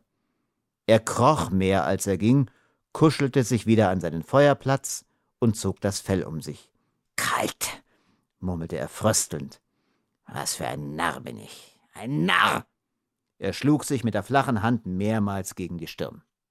Ja, ein Narr, bestätigte Tokaito. Warum hat Bakariko dieses Geschäft nicht ebenso gemacht wie alle seine Geschäfte? Warum ist er nicht in seinem Hause geblieben und hat seine Beauftragten geschickt? Der Kleine schien gar nicht zu hören, was der Häuptling sagte. Narr, Narr, wiederholte er nur. Ich bin reich. Was habe ich hier zu suchen? Der Höllenhund. Er will mich ermorden. Im Zelte Tokaitos wird niemand ermordet, bemerkte nun der Häuptling scharf. Paco Bacarico hat mein Wort, dass ihm und seinen Männern kein Haar gekrümmt wird. Ach, was hilft mir dein Wort, wenn ich sterbe? Du weißt gar nichts. Mein Leib krümmt sich, meine Beine krümmen sich, meine Schultern krümmen sich, ja, meine Haare krümmen sich von selbst. Hast du nie Bauchweh gehabt? Nein? Da weißt du gar nichts. Ich werde hier sterben. Ja, ich will sterben. Meinst du, ich reite noch einmal auf dieser Stute durch eure Prärie zurück? Nein, oh nein, ich will hier sterben. Willst du mir nicht vorher verraten, mit welchem Köder dieser Höllenhund dich in die Prärie gelockt hat und warum er dich ermorden will? Monito ächzte. Dann hob er auf einmal den Kopf, betrachtete den Häuptling mit einem ganz sonderbaren Blick und gab einen meckernden Laut von sich. Nein, kicherte er, nein, das will ich dir nicht verraten. Er mag ja zusehen, was er erreicht. Mag er doch selbst zusehen. Und der Kleine kicherte und meckerte weiter vor sich hin, so dass die Spitze seiner langen Nase über dem Mund zitterte. Der Delaware empfand geradezu Ekel, als er sah, wie das kichernde Geschöpf das umgelegte Fell wieder beiseite schob, zu dem Häuptling hinüberging und dem Dakota mit seinen langen Fingern zutraulich auf die Schulter klopfte. Der Häuptling hatte die Pfeife aus dem Mund genommen und betrachtete den Aufdringlichen wie eine Spinne, von der er noch nicht sicher wusste, ob er sie zertreten oder verscheuchen sollte. Um die Wahrheit zu sagen, er hat mich gar nicht hier haben wollen, flüsterte das Äffchen dem Dakota zu. Er wollte das Geschäft allein machen. Zweihundert Gewehre hast du haben wollen, Häuptling Moskito? Ich kann dir dreihundert geben. Dreihundert neue Armeegewehre und reichlich Munition dazu, verstehst du? Mein Name ist Bakerico. Dreihundert, hat der Höllenhund gesagt. Gib ihm dreihundert, er zahlt gut. Ich transportiere, sagt der Höllenhund, zahle dir bar und transportiere. Nehme das Risiko auf mich, aber gib ihm dreihundert. Warum soll ich dreihundert geben? Der Höllenhund ist schlau, aber Bakerico ist noch schlauer. Dreihundert, habe ich gesagt? Gut, dreihundert. Aber dann gehe ich selbst mit den Waffen. Und wenn ich krepiere, ich will wissen, was gezahlt wird. Gut. Ich gehe, habe ich gesagt. Und ich bin gegangen. Aber er ist verschwunden, voller Zorn und hat mich allein gehen lassen. Erst vor vier Tagen ist er auf einmal wieder da gewesen und hat sich aufgespielt, als ob die Waffen in die Prärie ihm gehörten. Ein Teufel ist er! Der Häuptling stand auf und entfernte sich so von den Spinnefingern, die ihn berührten. Dreihundert. Gut. Welchen Preis forderst du? Der Kleine lachte schrill auf. Das wirst du noch hören, Rothaut. Chef de Loup schüttelte es innerlich. Das üble Wucherspiel. Die Indianer, die selbst keine Feuerwaffen herstellen konnten, waren in Kriegszeiten auf Raub oder Schmuggel angewiesen. Der Verkauf von Waffen an die Roten war den Händlern von ihrer Regierung während des Indianerkrieges auf das strengste untersagt. Sie machten das verbotene Geschäft trotzdem und füllten ihre Taschen, indem sie alte, zum Teil unbrauchbare Waffen für Wucherpreise an die Indianer verschoben. Aber 300 neue Armeegewehre? Ein ganz großer Schwindel, dachte Chef de Loup, oder ein unerhörtes Geschäft. Welchen Preis wollte diese Spinne aus ihren Opfern heraussaugen? Der Kleine ächzte schon wieder, hielt sich den Leib und rannte gleich darauf zum zweiten Mal aus dem Zelte hinaus. Ohitika, der große schwarze Hund, bellte ihm wütend nach. Er schien das Verhalten dieses neuen Zeltbewohners nicht als ordnungsgemäß zu empfinden. Als Monito von seinem Gange in die Nacht wieder zurückkehrte, schimmerte seine Nasenspitze grünlich. Auf einen Wink des Häuptlings kam Anchida, die Alte, herbei. Sie wickelte das Männchen in Decken und Felle und schob es wie ein Paket, aus dem nur noch der merkwürdige Kopf herausschaute, nahe zum Feuer. Der Häuptling rauchte schweigend. Er legte auf die Fortsetzung des abgebrochenen Gesprächs keinen Wert. Auch Monitor sagte nichts mehr und beschäftigte sich nur damit, die Decken und Felle immer enger um sich herumzuziehen. Schließlich gab der Häuptling, dessen Müdigkeit größer sein mochte, als er nach außen hin eingestand, das Zeichen zur allgemeinen Schlafesruhe. Das Feuer wurde wieder gedeckt und die Lagerstätten wurden bereitet. Auch Monito erhielt einen der drei Füße, von denen Weidengeflechte herabhingen, als Kopfkissen. Chef de Loup döste mit offenen Augen in die Dunkelheit. Das tagelange Liegen ließ ihn zu keiner rechten Müdigkeit mehr kommen. Seine Vorstellungskraft beschäftigte sich mit den Fragen, die das Eintreffen des lächerlichen und unheimlichen Äffchens und die Kunde von dem Mann mit der Maske aufgeworfen hatten. Von dem letzteren konnte man frühestens am kommenden Abend durch Schwarzfalke Näheres hören, denn er war mit den Lasttieren nach den Berichten der Späher noch weit zurück. Ein sehr großer und starker Mann war es, und erst seit vier Tagen bei dem Schmugglerzug. Während der Delaware vor sich hinsann und die übrigen Zeltbewohner mit regelmäßigen Atemzügen bewiesen, dass sie Ruhe gefunden hatten, piepste auf einmal eine Stimme im Finstern. Hey, hey da! Was ist? fragte Chef de Loup zu dem Kleinen hinüber, da er dem verwundeten Tokaito die Ruhestörung ersparen wollte. Es zieht, schallte es aus den Decken heraus. Du bist eingewickelt wie ein Paket Büffelfleisch, erwiderte der Delaware unliebenswürdig. Willst du nicht Ruhe geben? Barbar, krähte es aus den Decken. Wenn ihr schon keine Häuser bauen könnt, wollt ihr nicht wenigstens eure Zelte des Nachts schließen? Es zieht wie zehn Pferde. Dass dich die zehn Pferde fortziehen möchten. Das Gespräch hatte die übrigen Zeltbewohner nun doch geweckt. Und Shida erschien, wieder angekleidet. Schlage die Zeltwand herunter, sagte Tokaito ergeben. Die Alte tat, wie ihr geheißen war. Dann ging sie zu dem Kleinen hin. Mein Eichhörnchen, sprach sie leise im Dakota-Dialekt, geringeltes Rattenschwänzchen, schlafe ruhig und rühre dich nicht mehr. Was hat sie gesagt?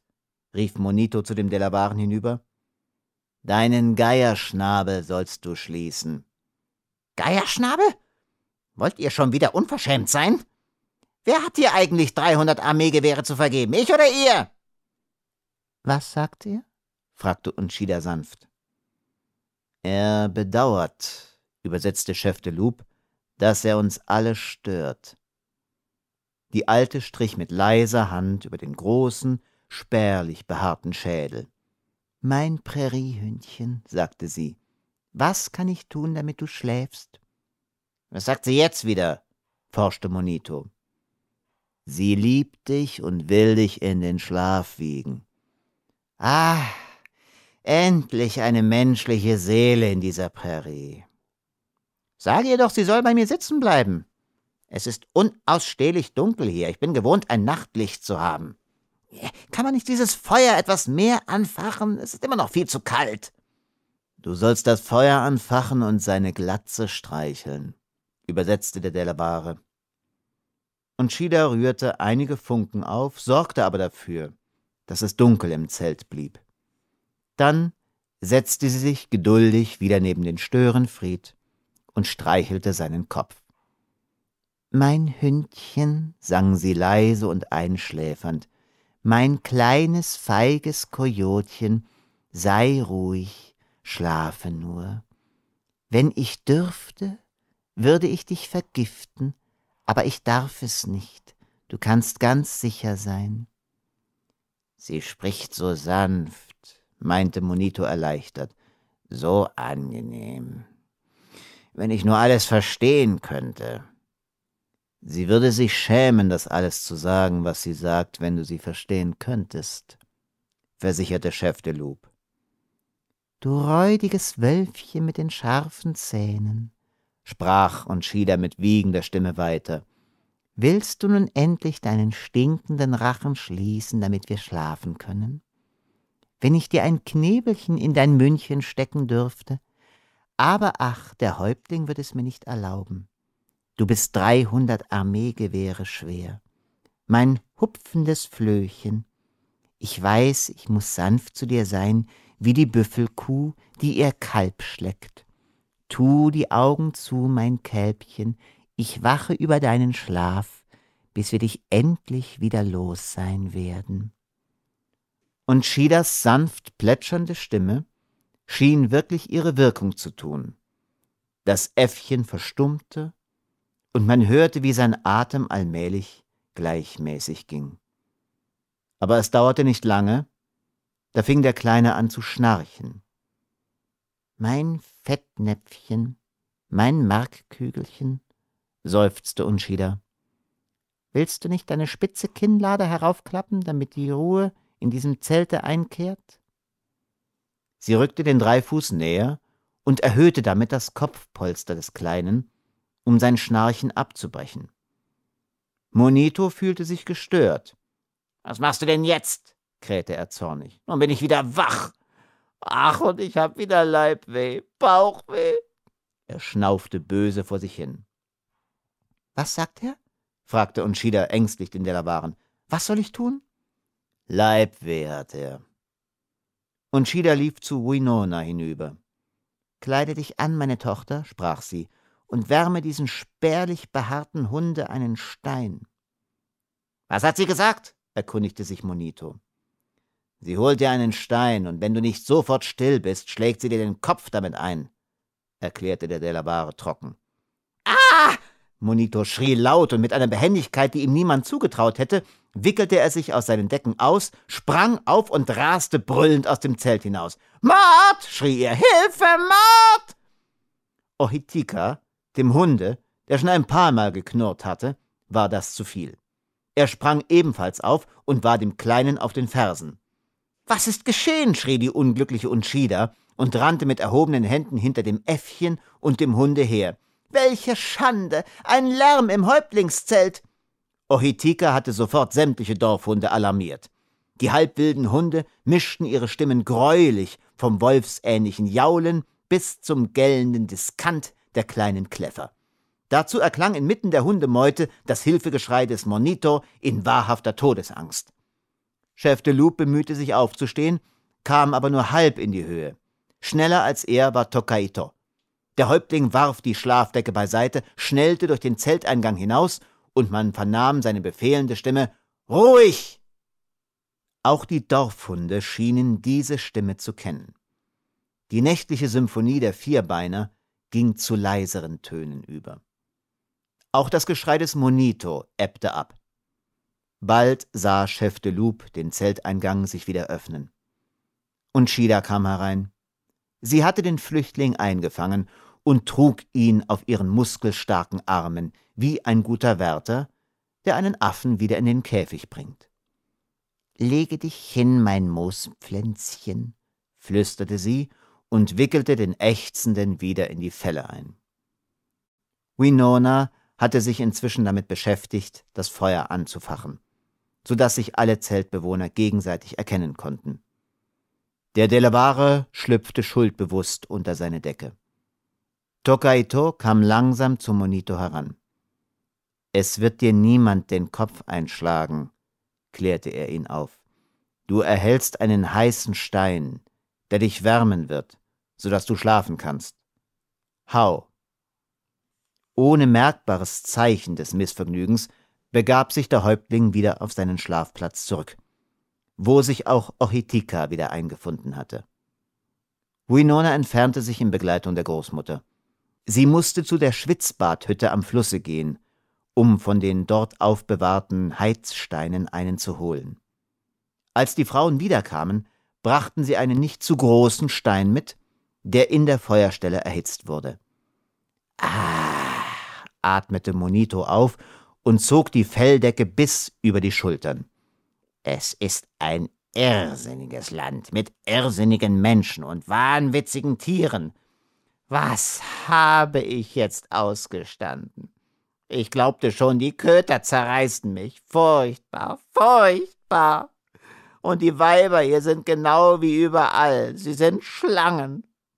Der Einzige, der Verstand hat, bist du, Häuptling Tokaya. Ein wärmender Stein. Das ist eine Erfindung eines goldenen Gemüts. Ich danke dir. Mit dir wird man sich auch über die Armeegewehre einigen können. Du bist ein Mensch. Was verlangst du für deine Ware? fragte der Häuptling scheinbar leichthin und schaute dabei zur Zeltspitze hinauf. Der Kleine kicherte. Nichts, als dass ich mich beteiligen darf. Ich verschaffe euch die Konzession. Die Worte erschienen dem Delawaren, der wieder aus seiner Decke hervorspitzte, rätselvoll, aber da der Häuptling nicht weiter fragte, fanden sie vorläufig keine Erklärung. Winona bewachte den Stein in der Feuerstelle, und als er sich genügend erwärmt hatte, nahm sie ihn heraus und legte ihn eingewickelt neben den langnasigen Monitor. Das Äffchen rollte sich mit Wohlbehagen zusammen. Schlafe, mein Geierschnäbelchen, schlafe, murmelte die Großmutter. Diesmal schien die Mahnung Erfolg zu haben, und im Zelte des Häuptlings kehrte die ersehnte Ruhe ein. Der folgende Tag verlief in allgemeiner Untätigkeit und innerer Unruhe. Als es endlich Abend wurde, stieg die Spannung des Delawaren auf den Höhepunkt. Winona und Unchida waren schon wieder damit beschäftigt, über dem Feuer Büffelfleisch zu braten, um den kommenden Gast sogleich bewirten zu können. Es war zu hören, wie der Hufschlag eines galoppierenden Pferdes den Lagerplatz erreichte und dort verstummte. Das Häuptlingszelt wurde geöffnet und Chetan Sapa schlüpfte herein. Die Selbstbeherrschung verließ ihn nicht, aber in seinen flackernden Augen lag ein erregter, beinahe verstörter Ausdruck.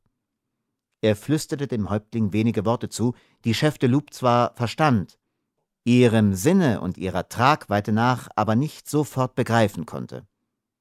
War es wirklich möglich? Der Häuptling hatte sich vollkommen in der Gewalt. Nur eine kleine Bewegung der Finger, mit der er die Pfeife fester fasste, verriet, dass er eine Nachricht erhalten hatte, die ihn traf. Schwarzfalke spielte nervös mit dem Griff seiner gefährlichen Kriegskeule. Tokaito winkte ihm ab. Ich kenne ihn nicht, sagte er betont. Monito hat mein Wort, für sich und alle seine Männer, frei und ungehindert zu kommen und zu gehen. Schwarzfalke schien einen Wutschrei zu unterdrücken und verließ das Zelt. Unruhe entstand im nächtlichen Lager. Chedan Zapa hatte im Hinausgehen den Zeltvorhang aufgeschlagen, und so konnte Chef de Loup draußen auf dem großen Platze Dorfbewohner und eintreffende Reiter erkennen. Der Mond war aufgegangen und goss über die nächtliche Szene und die kleinen, züngelnden Feuer sein bleiches Licht. Lang, gespenstisch und unruhig fielen die Schatten der Menschen, Tiere und Zelte. Vom Süden nahte sich der Schmugglerzug. Die Maultiere und ihre Begleiter kamen in langer Reihe auf dem Platze an. Man sah, wie Schwarzfalke mit den Anführern verhandelte und auf das große Zelt der Beratung deutete. Die Männer mit den großen Lederhüten begannen, Kisten und Säcke abzuladen und nach dem bezeichneten Zelt zu schleppen. Tokaito saß neben Chef de Loups Lager und beobachtete ebenfalls die Vorgänge. Die Maultiere waren alle abgeladen und die Lasten in das große Zelt getragen worden. Der größere Teil der Mannschaft hatte sich mit dem Schmuggelgut ins Zelt begeben. Einige standen noch bei den müden Tieren und schienen sich mit Schwarzfalke darüber zu besprechen, wo diese hingebracht werden sollten. Ein Anführer mit einer Maske war bei alledem nicht zu sehen. Nun aber drehte sich ein breitschultriger, und hochbeiniger Mann am jenseitigen Ende des Platzes um und rief, während er das Leder vor dem Gesicht ein wenig lüftete, laut über den Platz. Und wo ist Monito? Chef de Loup fuhr zusammen. Diese Stimme kannte er. Das war Fred Clark. Man sah, wie Chetan Sapa sich zu dem großen Manne begab und ihm zu erklären schien, wo das Äffchen zu finden sei. Chef de Loup schob sich mit den Füßen ein Stück tiefer, so dass er von seiner Kopfstütze herunterrutschte und flach lag. Er zog die Decken über den Kopf und hielt sich nur einen kleinen Ausguck offen. Er wünschte, das Weitere zu beobachten, ohne selbst erkannt zu werden. Es war sehr reizvoll zu erfahren, ob Fred Clark, genannt Red Fox, der Kundschafter im Dienste der Armee, nebenbei 300 Gewehre an den Feind verschob. Dann hätte er allerdings Grund gehabt, Tobias lieber nach den Black Hills zu schicken. Tokaito stand jetzt hinter der Feuerstelle, dem Eingang gegenüber. Er hatte die Büffelhautdecke über die linke Schulter geschlagen, so dass seine Verwundung am Arm nicht zu sehen war. Der ganz in Leder gekleidete Mann, dessen Gesicht von einer ledernen, nur mit Augenschlitzen versehenen Maske verhängt war, kam mit langen Schritten über den freien Platz und lief geradewegs in das Zelt hinein. Vor dem Feuer blieb er dem Dakota gegenüber stehen. Ihm zu Füßen hockte der in Decken gewickelte Bacarico bei einem angewärmten Heizstein. Einen Atemzug lang herrschte regungslose Stille bei den Männern. Nur Ohitika, der Hund, hatte die Nackenhaare gesträubt und knurrte böse. Seine Augen funkelten feindselig im Zwielicht von Schatten und Feuerschein. Der Fremde riss den breitkrempigen Hut vom Kopfe und das Leder vom Gesicht. Grinsend verzog sich sein Mund mit den lang hervorstehenden gelben Zähnen. Hey, Harry! Meinen Gruß! Kennst du mich noch, alter Freund? Der Indianer rührte sich nicht und sagte nichts.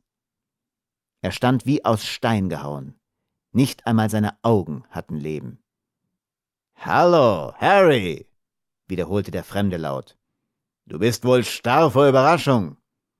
Hast nicht geglaubt, mich noch einmal frisch und lebendig in deinem eigenen Zelt zu erblicken, wie? Wiedersehen macht Freude, mein Junge. Ich habe dir auch was Hübsches mitgebracht. Wie ein alter Onkel.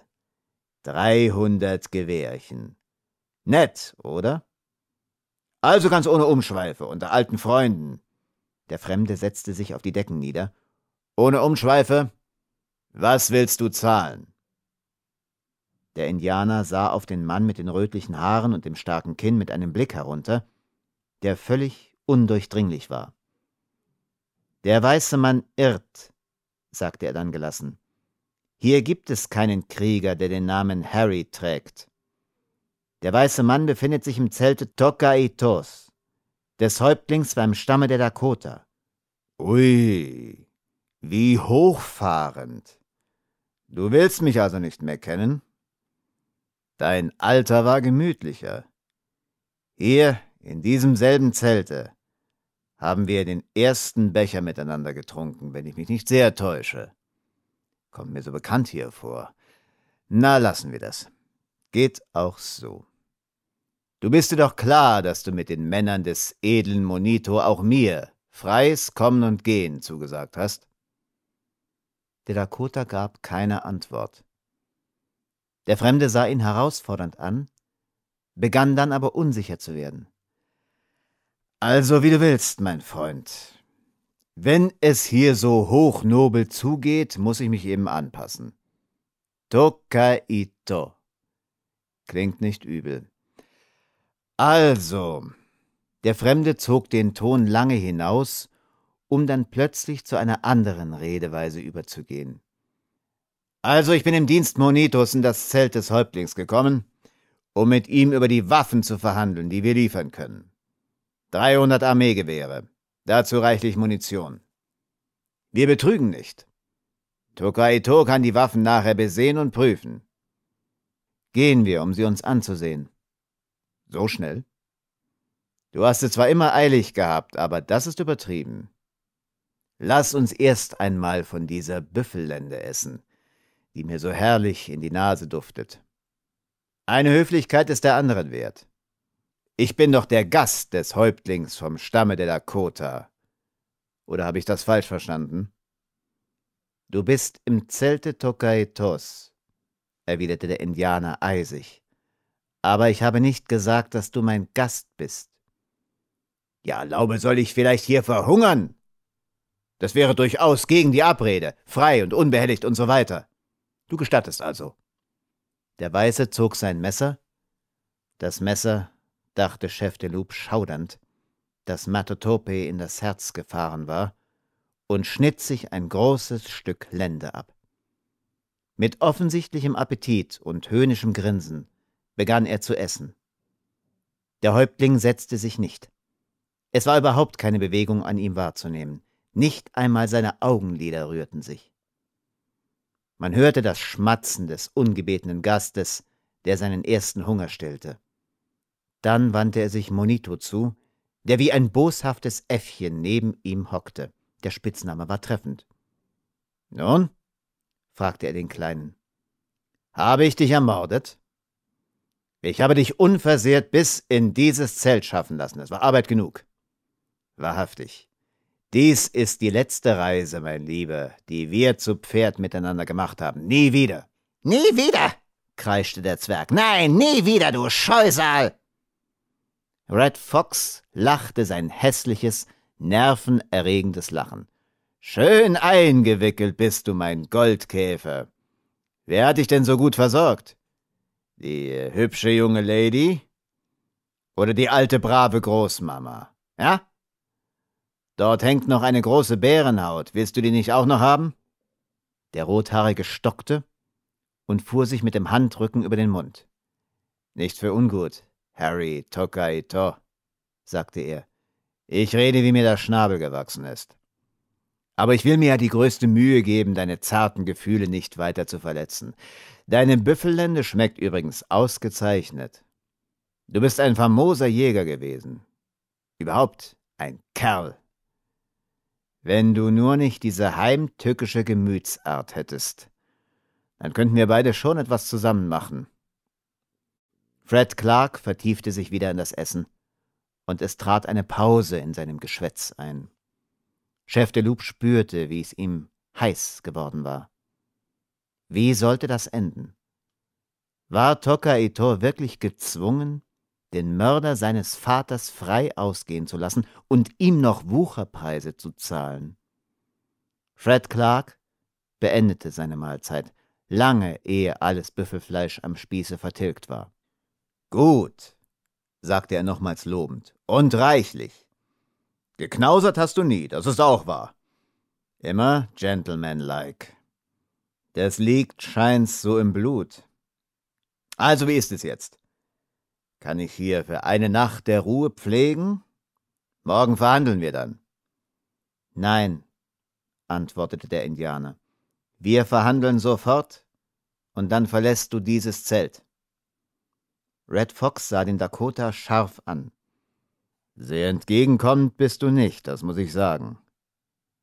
Du meinst wohl, du verschaffst dir einen Vorteil, wenn du mich hundemüde zum Verhandeln zwingst. Da wirst du dich aber täuschen. Ganz so malade wie dieses Äffchen hier bin ich nicht. Habe meine Gedanken noch so einigermaßen beisammen. Er wandte sich Monito zu. Was sagst du? Sollen wir darauf eingehen und den Handel gleich machen? Der Indianer da will sein Ehrenwort, scheint's, zeitlich begrenzen. Wie wär's? Dann wissen wir selbst wenigstens auch gleich, woran wir sind. An dem Kleinen ging eine Veränderung vor. Das Blut stieg ihm in das wachsfarbene Antlitz, seine Züge strafften sich, seine Augen blitzten auf. Seine Spinnenfinger begannen Kreise in der Luft zu beschreiben, als ob er etwas erklären wolle. Jetzt endlich erschien etwas von dem, was man sich unter dem mächtigen Schmugglerkönig vorgestellt hatte. Heute noch? sagte er mit seiner schrillen Stimme. Ja, heute noch. Ich bin ausgeruht. Ich will wissen, was es gibt. Ob du mich betrogen hast, du Schurke. Haha, mein Lieber, was heißt betrogen? Du bist dabei und kannst kontrollieren, worum gespielt wird. Also dann gut, wandte sich Red Fox wieder seinem Todfeinde Tokaetor zu und erhob sich. Du willst die Waffen erst einmal besichtigen. Das kannst du. Wir haben nichts zu verbergen. Gehen wir. Der Indianer schritt schweigend dem Zeltausgange zu. Red Fox folgte ihm. Schwer traten seine hohlen und stark besohlten Lederstiefel auf. Als beide verschwunden waren, hörte Chef de Loup einen leisen Laut. Winona hatte den Kopf an die Schulter Unschidas gelegt. Die alte Indianerin strich dem Mädchen flüchtig über das Haar. Komm, wir gehen. Und sie führte die Schwester des Häuptlings hinaus. Chef de Loup blieb allein mit Monito und dem Hunde Ohitika. Er lockerte die Decke, die ihn verbarg, und schöpfte Luft. Monito war am Feuer hocken geblieben und hielt Selbstgespräche. Sie sind gut, murmelte er vor sich hin. Gut sind sie, neu. Er wird es sehen. Er wird sie haben wollen. Er muss sie haben wollen. Keiner liefert so wie ich. Er muss zahlen. Der Kleine kicherte bösartig. Er war wachsbleich und seine Hände zitterten. Es währte nicht allzu lange, bis Tokaitor und Red Fox das Tipi wieder betraten. Nun? fragte der Weiße auffordernd im Hereinkommen. Tokaitor ging zur Feuerstelle an seinen gewohnten Platz dem Eingang gegenüber. Er stopfte die Pfeife mit zeitraubender Sorgfalt und wartete, bis auch sein Gegner die seine in Brand gesetzt hatte. Paco Bacarico hat nicht gelogen, sagte er dann sehr beherrscht. Die Waffen sind neu, die Munition ist gut. Ich bin bereit, sie zu übernehmen. Welchen Preis fordert der kleine weiße Mann? Wir haben Wort gehalten, antwortete Red Fox an Monitors Stelle. Wird Tokaitor auch Wort halten? Der Häuptling hat uns zugesagt, dass wir mit allen Begleitern, Maultieren und Waren unversehrt und unbehelligt abziehen können, wenn wir nicht handelseinig werden. Das habe ich gesagt. How? Gut. Welchen Preis bietet der Häuptling der Dakota an? Die Augen des Red Fox lauerten, und der Zwerg hob die Nase höher aus der Decke. Für die Gewehre und die Munition bezahlt Tokaito, was die Armee des großen Vaters in Washington auch bezahlt. Für die Gefahr und für den Weg bezahlt Tokaito noch einmal die gleiche Summe. Hm. Das heißt Summe. Du willst also nicht in Biberfällen und Büffelhäuten bezahlen? Bakarico kann den Preis auch in Fällen erhalten. Das will ich nicht, das will ich nicht, schrie es aus dem Bündel. Wenn ich so viele Fälle bringe, verderbe ich an der Grenze den Preis und bin betrogen. Glaubt Tokaito im Ernst, dass Paco Bakarico durch die Prärie reitet, reitet, um Biberfälle zu holen? Tokaito versteht, dass dies kein gewöhnliches Geschäft ist. Bakarico ist reich und hat es nicht nötig, um Fälle zu handeln. Bakarico lebt gut und hat es nicht nötig, seinen Kopf zu riskieren für ein paar Biberhäute. Weiß Tokaier, dass jetzt jeder mit dem Tode bestraft wird, der Waffen an aufständische Indianer verkauft? Monito hatte sich in seinen Decken aufgesetzt und stierte den Dakota mit glänzenden Augen an. Der Häuptling nickte gleichmütig. Versteht Tokaito, dass Bakarico trotzdem kommt? Ja. Ja? Dann äh, werden wir uns bald einig sein. Tokaito weiß also, was er zahlen wird. So ist es.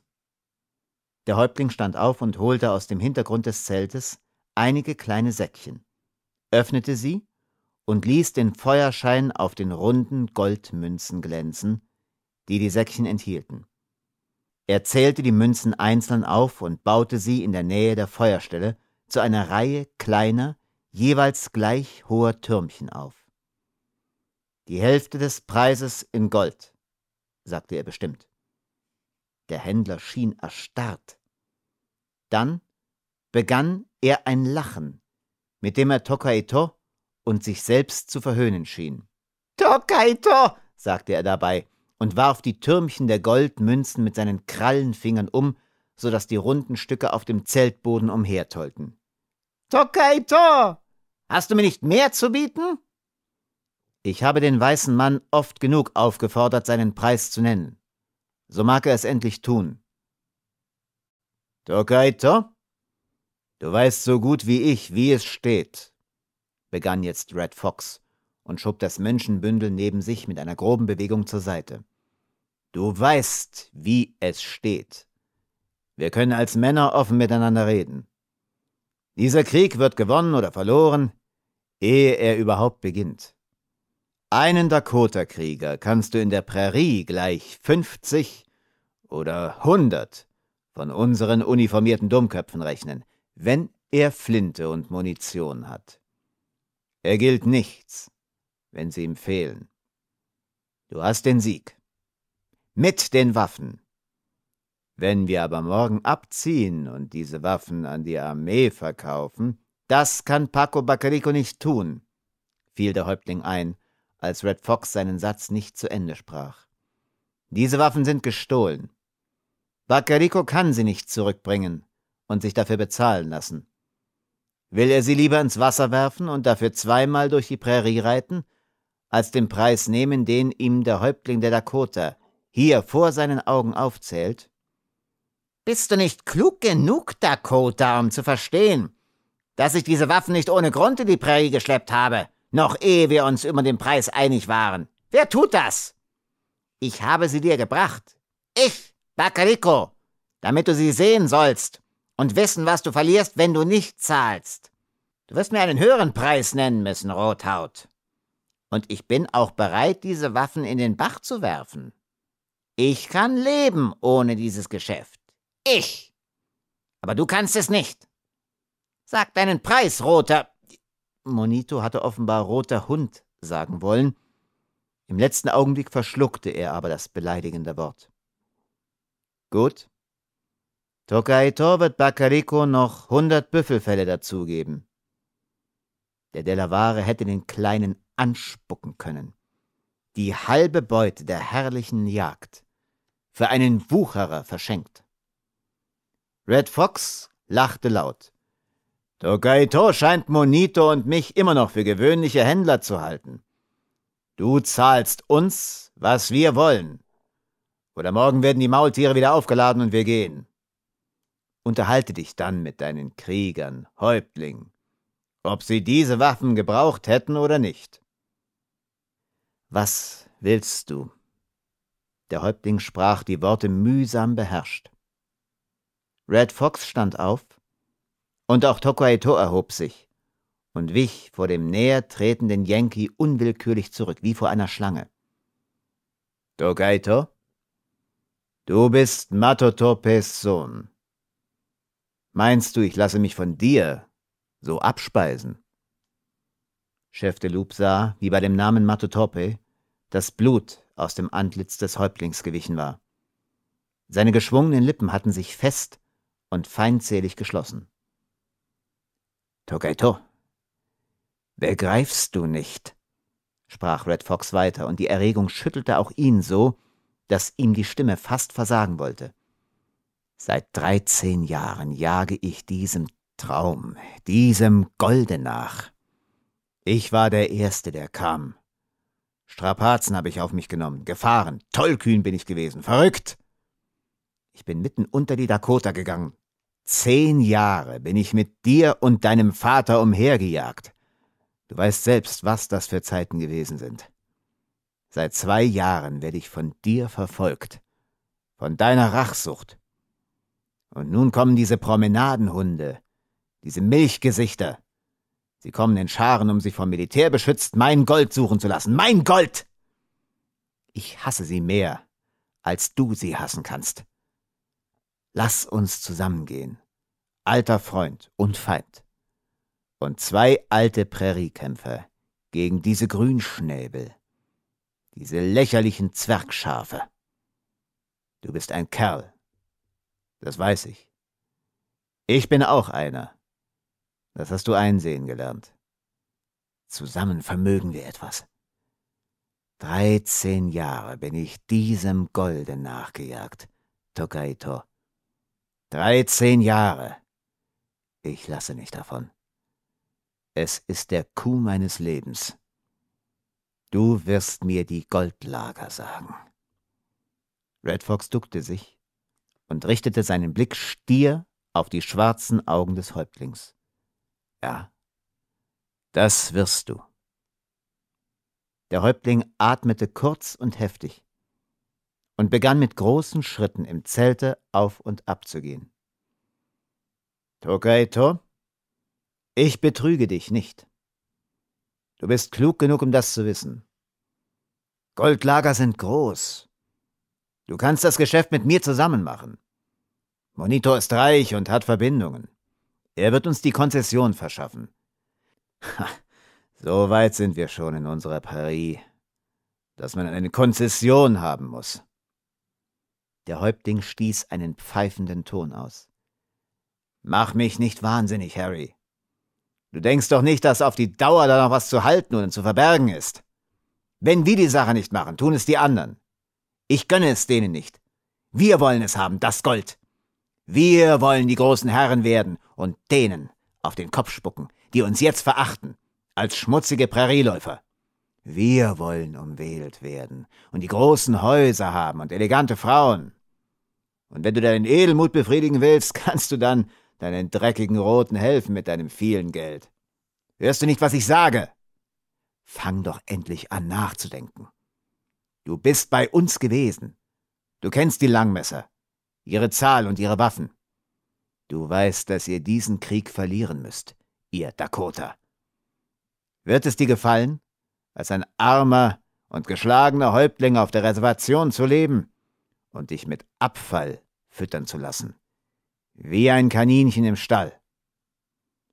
Red Fox, der Mörder Matotopes, kann gewiss sein, dass Toka Etor niemals als ein besiegter Häuptling auf einer Reservation leben wird, um sich mit Abfall füttern zu lassen. Diese Sorge mag er sich nicht machen. Der Rothaarige verzog den Mund. Wohl. Wenn du dir einbildest, den Kampf gewinnen zu können, so beschaffe ich dir rechtzeitig Waffen für deine Krieger. Willst du mir dieses Gold dafür verraten? Verraten, wiederholte Tokaito. Der rote Fuchs ist bei dem rechten Worte angelangt. Die Gestalt des Dakota richtete sich auf. Ich will es nicht. Was spreizt du dich, Harry, Tops Sohn? schrie der Yankee in aufschäumender Wut. Bist du mehr als der Sohn eines Verräters? Das Geheimnis geht um. Der Häuptling trat dicht an den Sprecher heran. Schweig, sagte er leise. Ich habe dir das Leben zugesagt für die Rückkehr bis zur Grenze meiner Jagdgründe, aber nicht für immer und überall. Ich fürchte deine Rache nicht, Dakota. Die Augen Fred Clarks schillerten jetzt wirklich wie im Wahnsinn. Er lachte heiser. Das Gold. Oder diese Waffen gehören der Armee. Du hast gehört. Es ist mein letztes Wort. Red Fox verfolgte nach seinen Worten den Häuptling mit jenem lauernden Blick, mit dem die Raubkatze ihr Opfer beobachtet. Auch er hatte gesehen, dass Tokaito bleich geworden war und dass sein Blut in kurzen Stößen durch die Adern pulste. Die Büffelhautdecke war von seiner Schulter herabgeglitten. Über den linken Arm des Häuptlings sickerte das Blut in roten Fäden. Die Wunde schien sich wieder geöffnet zu haben. Er war zurückgetreten bis zur Zeltwand und stützte sich mit dem ausgestreckten rechten Arm gegen einen der schlanken Fichtenstämme. Seine Augen sahen über den Feind hinweg, und es war, als ob sein Blick sich in weiter Ferne verlöre.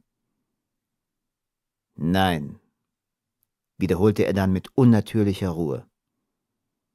Die Nasenflügel des Yankees bebten. Sein rasender Zorn weidete sich an der Qual des Mannes, der sich ihm nicht fügen wollte.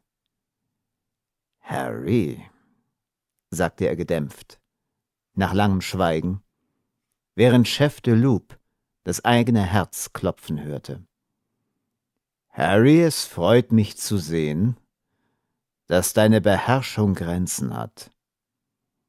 Zum ersten Mal in meinem Leben sehe ich das, mein Sohn. Und wir haben uns doch zehn Jahre gekannt. Du bist blass geworden, mein Freund, und dein Blut verrät dich. Ich bin nicht so ungeduldig wie du. Ich kann warten.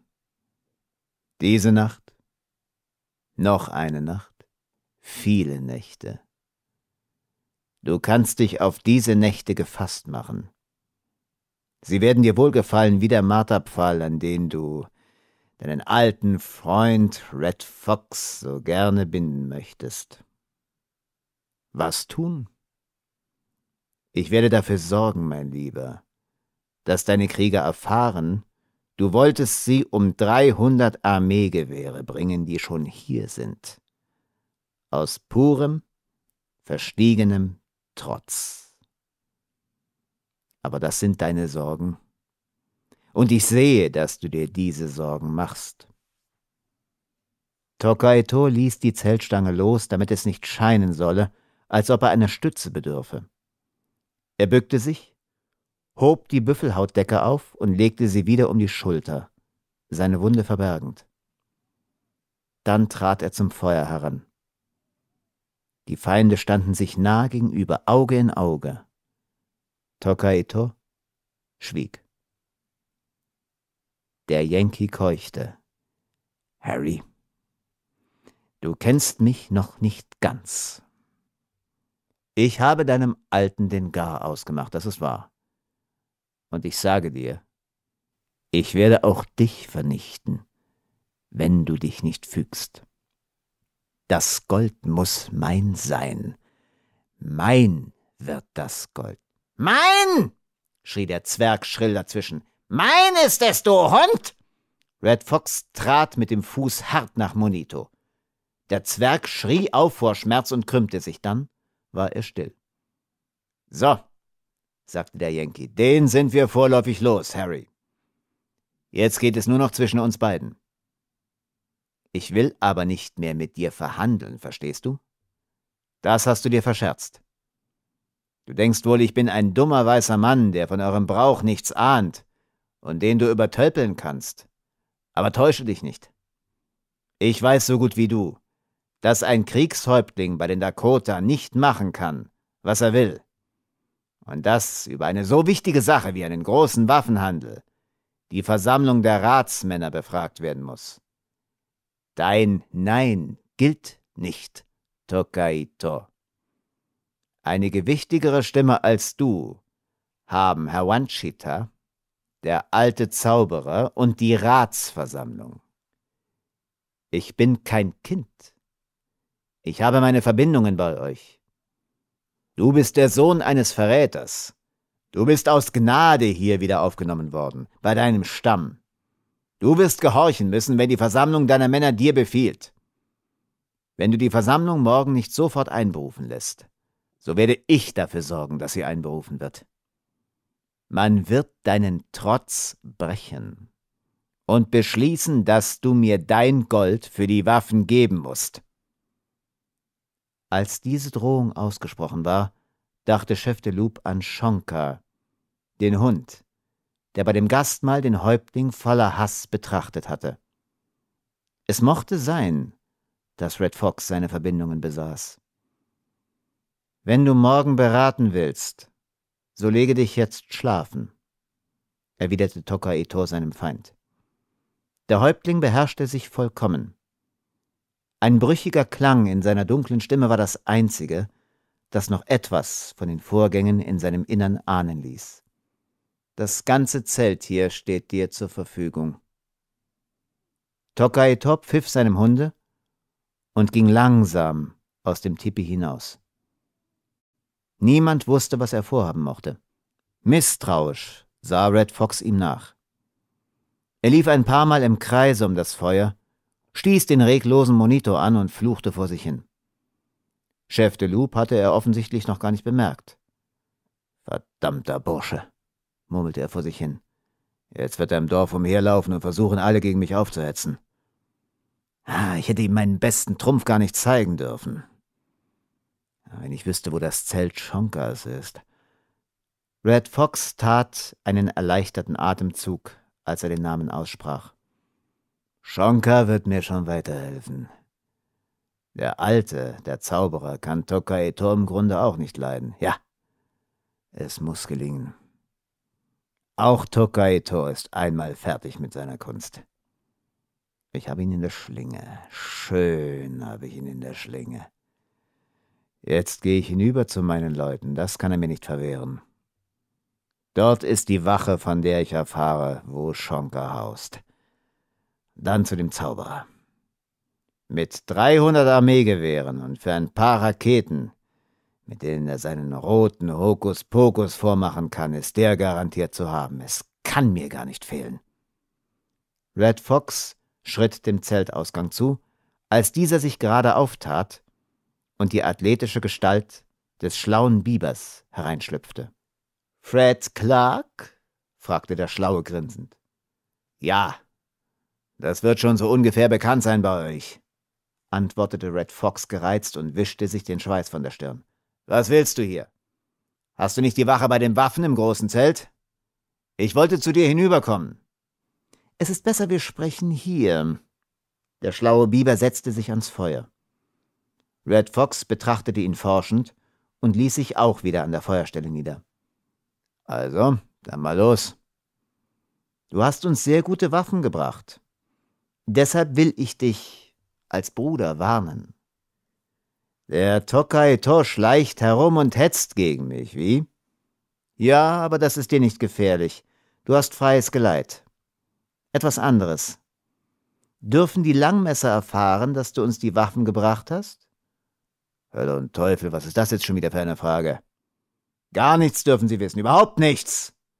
Und wenn ihr je einmal etwas wieder von mir haben wollt, dann haltet euren Mund. Wir schweigen. Aber kannst du dich auch auf Chef de Loup verlassen? Ich meine auf euren Kundschafter Tobias? Wie kommst du auf den? Der ist doch in den Black Hills. Er ist im Dorf. Wo ist er? Red Fox schrie die Frage. Bei uns hier im Dorf. Dreifach verdammt.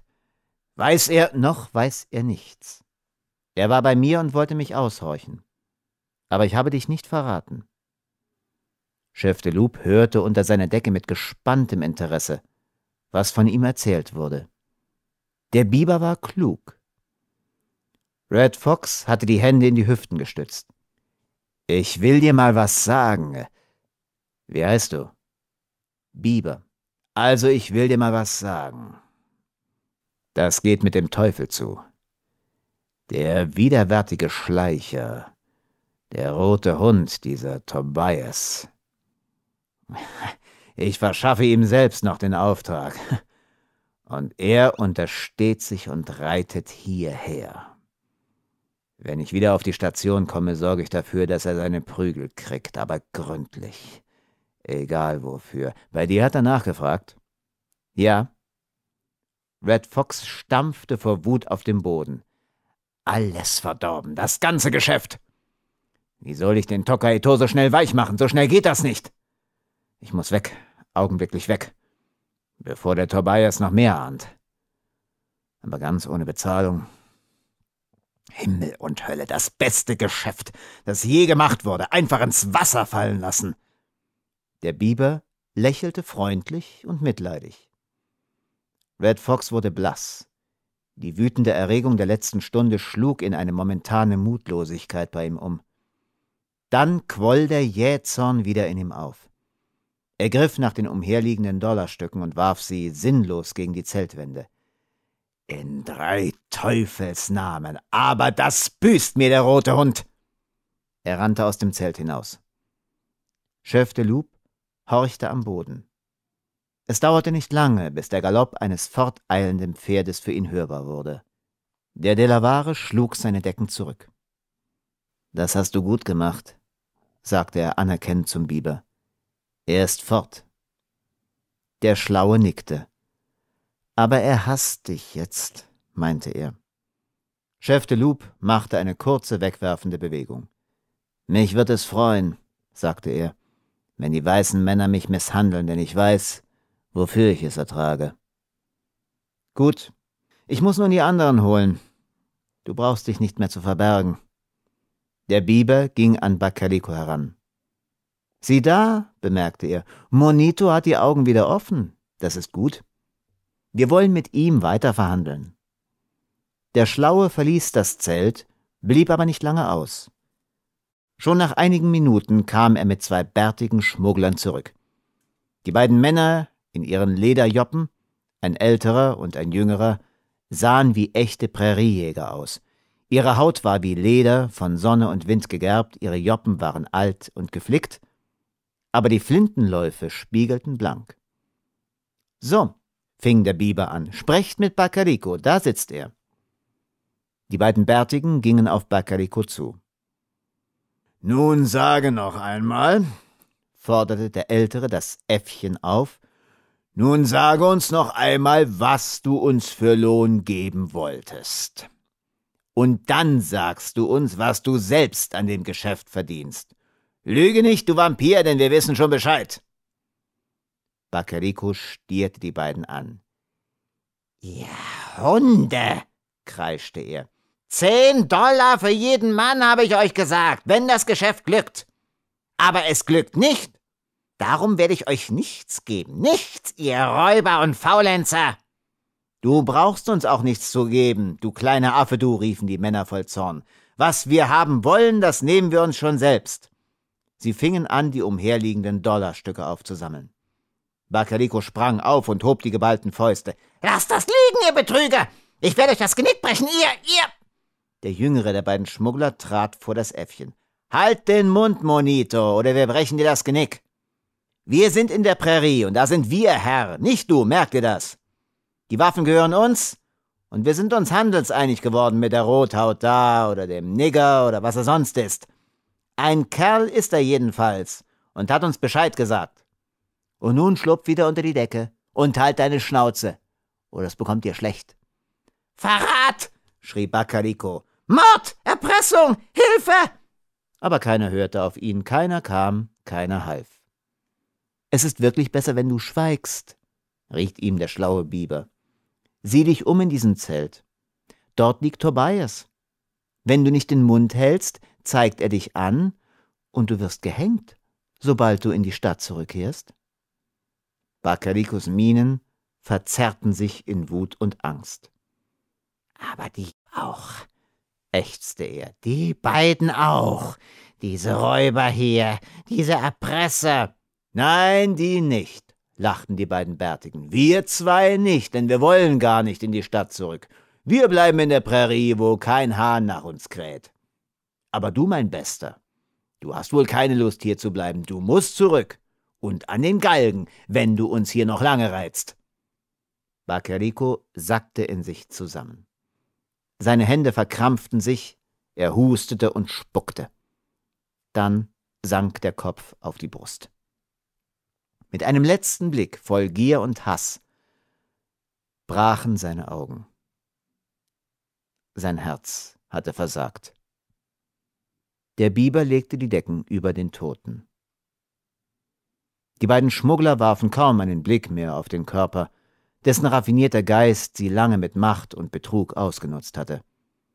Sie sammelten die Münzen ein und gingen dann mit dem Biber zusammen hinaus, um im Beratungszelte nebenan das Geld mit ihren Gesellen zu teilen. Als der Biber diesmal in das Häuptlingskelt zurückkehrte, atmete er tief auf. Von draußen her war der verklingende Galopp einer ganzen Reiterschar zu vernehmen. Fort sind sie, berichtete der Schlaue, und die Waffen und die Maultiere sind hier geblieben. Wir haben gesiegt. Er setzte sich ans Feuer und steckte sich seine Pfeife an. Als der Häuptling in sein Zelt zurückkehrte, setzte er sich erst dem Biber still gegenüber. Du hast von mir verlangt, sagte er nach einiger Zeit, und seine Stimme klang noch spröde, dass ich dir die Hand frei lasse zu tun, was du für richtig hältst. Nun berichte mir, was hast du getan und was ist geschehen? Warum reiten diese Männer alle fort und lassen die Waffen hier. Der Biber berichtete. Ich habe die Waffen gekauft. Mit Tokaitos Geld gekauft, schloss er. Es war ein ehrlicher Handel. Ich kann nicht dafür, dass diese Männer es so eilig hatten und einige Goldmünzen liegen ließen. Er deutete auf zwei Häufchen Dollars, die er im Zelte zwischen den Decken noch zusammengesucht hatte. Tokaitor mag das wieder an sich nehmen. Das magst du behalten, Biber. Du hast deinem Stamme sehr genützt. Was soll ich mit dem Gold? Ich will es nicht. Tokaitor mag mir lieber ein Stück allerzartester Büffellende schenken, damit ich mich stärke, zum Kampf wider den Geist, der in der Mutter meiner Mutter wohnt und der mich zwingen will, in meinem Zelte sehr alten Stier zu essen. Du magst den ganzen jungen Büffel haben. Über Tokaitos Züge glitt ein flüchtiges Lächeln. Winona und Unshida wurden gerufen. Auch Schwarzfalke fand sich wieder ein. Lange noch, als man in den anderen Zelten schon in Schlaf gesunken war, blieb das Gespräch am Feuer des Häuptlings im Gang. Tokaitos Erkenntnis Fast vier Wochen waren ins Land gegangen, seitdem der Waffenschmuggel des Monito seinen überraschenden Abschluss gefunden hatte. Chef de Loup, der genesen war, hatte den Rückweg zum Fort angetreten. Er trug den Brief bei sich mit der Mitteilung, dass Tokaito auf die Blockhausstation kommen und Verhandlungen mit Oberst Jackman aufnehmen werde. In leisem Flusse strömten die Wasser des Pferdebachs dem North Platte zu. In den Weidengebüschen am Ufer zwitscherten die Vögel, die Fische sprangen und schossen durch die Flut. Winona stand allein am Ufer, gegen das Dorf gedeckt durch das Laub der Büsche. Sie trug ihr schönstes Gewand, das ihr von den Schultern in weichen Falten herabfiel. Ihr blauschwarzes Haar, nur von einem Stirnbande gehalten, reichte bis zum Saume des Kleides. Sie stand ganz gerade, mit herabhängenden Armen, den Kopf ein wenig erhoben, als warte sie. Ihr Blick ging in die Einsamkeit der heimatlichen Steppe.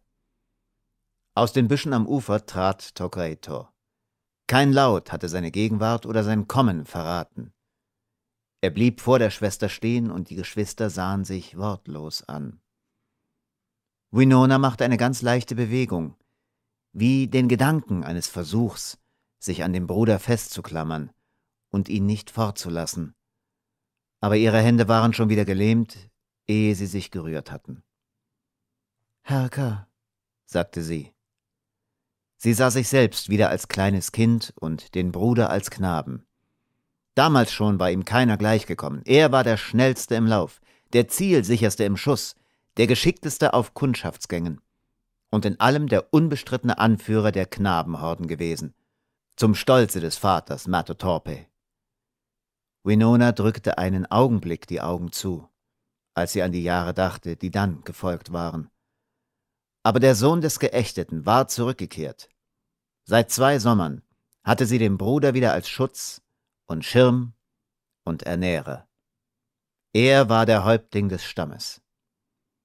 Winona sah die großen, schönen Adlerfedern, die sein Haupt schmückten. Sie selbst hatte seinen Rock aus Elenleder gearbeitet und reich in Blau und Rot gestickt. Aus der Lederscheide schaute der in Form eines Vogelkopfes geschnitzte Messergriff. Tokaito sagte nichts. Stumm sah er auf die Schwester herab. Auch ihm schien der Abschied heute schwer zu werden. Das laute Gebell Ohitikas weckte die Geschwister. Mit großen Sätzen sprang der Wolfshund zu seinem Herrn heran, der sich ohne ein Wort wandte und ging. Der Häuptling begab sich zu der Pferdeherde, die nicht weit entfernt unter der Hut einiger Knaben weidete. Nicht weniger als ein Dutzend junger und kräftiger Tiere war darunter, die der Lasso des Häuptlings eingefangen hatte. Auf dem Rücken des Falbenmustangs saß Sheshoka, die Drossel, und sang süß in den Morgen hinein. Eine Schar ihrer schwarz gefiederten Schwestern lief durch das Gras hinter den Pferden her und pickte nach Futter. Der Hengst hob den Kopf und sog die Luft durch die geblähten Nüstern. Dann sprang er in übermütigen Sätzen zu dem Häuptling, während die Schwarzdrossel sich schleunigst davonmachte. Der Häuptling begrüßte seinen Mustang und wartete, bis noch zwei Krieger herbeikamen, zwei betagte Männer, die ihn begleiten und bei den Verhandlungen unterstützen sollten. Sobald sie erschienen, sprang der Häuptling auf, und nachdem auch die beiden Alten und der Biber die Mustangs bestiegen hatten, begann der Ritt. Erst mit sinkender Sonne wurde Rast gemacht und das Nachtlager bezogen. Als der Häuptling, der die Wache für den zweiten Teil der Nacht übernommen hatte, wach wurde, erkannte er am Stand der Sterne, dass es eine Stunde nach Mitternacht war. Er erhob sich und schlich hinauf zu dem schlauen Biber, der auf einer Hügelkuppe lag, um ihn abzulösen. Aber der Biber war noch nicht müde. Bleiben wir zu zweit, schlug er vor. Ich habe dir noch etwas zu sagen. Tokaito richtete sich neben seinem Gefährten ein. Harka. Der Biber nannte den Namen seines Jugendgefährten mit dem alten Klang der Knabenfreundschaft. Warum hast du nicht verlangt, dass eine große Schar von Kriegern dich begleitet? Auf der Blockhausstation lauert der rote Fuchs. Du weißt, wo unsere Männer jetzt gebraucht werden. Die Generäle Custer und Bentin ziehen mit ihren Langmessern durch unsere Prärien und wir müssen ihnen begegnen. Der Kampf der Dakota ist der letzte Kampf der roten Männer. Wenn wir geschlagen werden, sind alle roten Männer besiegt. Die Krieger der Dakota können jetzt ihre Pläne nicht ändern, um den Sohn eines Geächteten zu beschützen, wie ein kleines Mädchen, das Angst hat. Schweig! Deine Worte verwirren alles. Es wäre besser, du kämpftest mit uns am Big Horn gegen Custer, als dass du dich hier ermorden lässt. Aber nun sage mir wenigstens, was ich tun soll, wenn die Langmesser dich verraten. Das kann ich dir nicht sagen aber ich erlaube dir, in der Prärie zurückzubleiben, während ich mich auf das Vor begebe. Gut, sehr gut. Nun will ich Tokaeto etwas gestehen. Was ist? Ich habe mir von Tatanka Yotanka zwanzig Männer freigeben lassen und mich mit ihnen verschworen. Sie warten jenseits des Minyatanka auf mich, um mir und dir zu helfen, wenn es Not tun sollte. Der Häuptling zögerte einige Sekunden. Ihr könnt die Blockhäuser nicht angreifen, sagte er dann, und im Unterton seiner Stimme schwang etwas von dem, was er dabei nicht Worte werden ließ. Die Blockhäuser sind jetzt stark besetzt. Wenn ich verraten werden sollte, so versuche dich einzuschleichen und mich zu befreien. Hau! Und den roten Fuchs zu töten. Das nächtliche Gespräch versickerte aber der Biber zog sich nicht zum Schlafen zurück. Wachend blieb er bei seinem Häuptling und Jugendgespielen bis zum Ende der Nacht, und leise sang er das Kampflied der Dakota, die einander auch im Tode nicht verließen.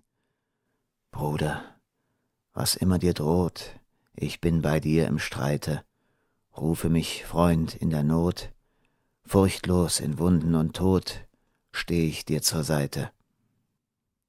Das Lied verklang in der Dämmerung. Mit dem Morgengrauen begaben sich die beiden Männer zurück zu ihren Gefährten und man brach auf. Die Indianer ritten mit ihren ausdauernden Wildpferden den zweiten und noch die Hälfte des dritten Tages, bis sie sich dem Fort näherten. Die Reiter befanden sich hinter einer Biegung des Flusstales und konnten von der Station aus noch kaum erspäht sein. Der Häuptling ließ den Biber hier zurück und ritt mit den beiden Ratsmännern auf eine Hügelkuppe, die freien Blick bot. Aus der wiedererbauten Station drangen die Geräusche eines Gewimmels von Menschen und Pferden, Hufstampfen, Schritte, Zurufe schwach herüber. Die verstärkte Besatzung hatte wahrscheinlich kaum Platz innerhalb der Umzäunung. Dennoch schien man es für notwendig gehalten zu haben, alle Mann mit ihren Tieren in der Station unterzubringen. Der Dakota glaubte zu hören, wie das große Schloss des gegen Westen gerichteten Tores knarrte. Die Torflügel öffneten sich quietschend, und die Berittenen, die dahinter gehalten hatten, quollen heraus.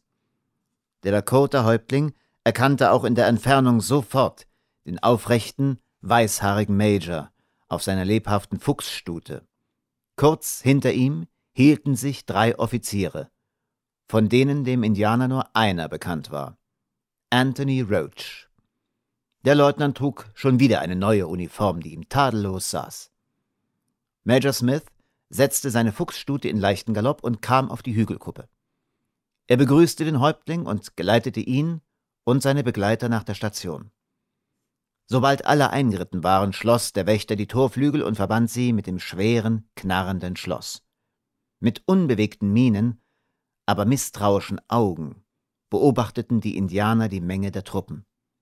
Als Smith und seine Offiziere vom Pferde stiegen, glitten auch sie von ihren Tieren herab. Die Pferde sollten von den Wachmannschaften fortgebracht werden. Tokaitos Wildhengst schnappte nach dem Arm des Soldaten, der den Zügel greifen wollte. Der Mann fuhr erschrocken zurück. Der Häuptling sah sich suchend um.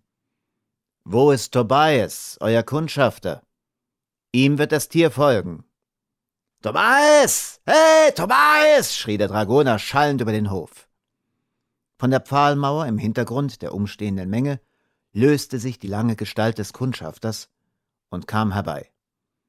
Tobias trug als Geschenk Tokaitos den Lederanzug, den Winona und Blitzwolke gearbeitet hatten, aber die Schlangenhaut war wieder aus seinen Haaren verschwunden und durch ein grünes Tuch ersetzt. Seine Mienen zeigten die alte, ausdruckslose Gleichgültigkeit.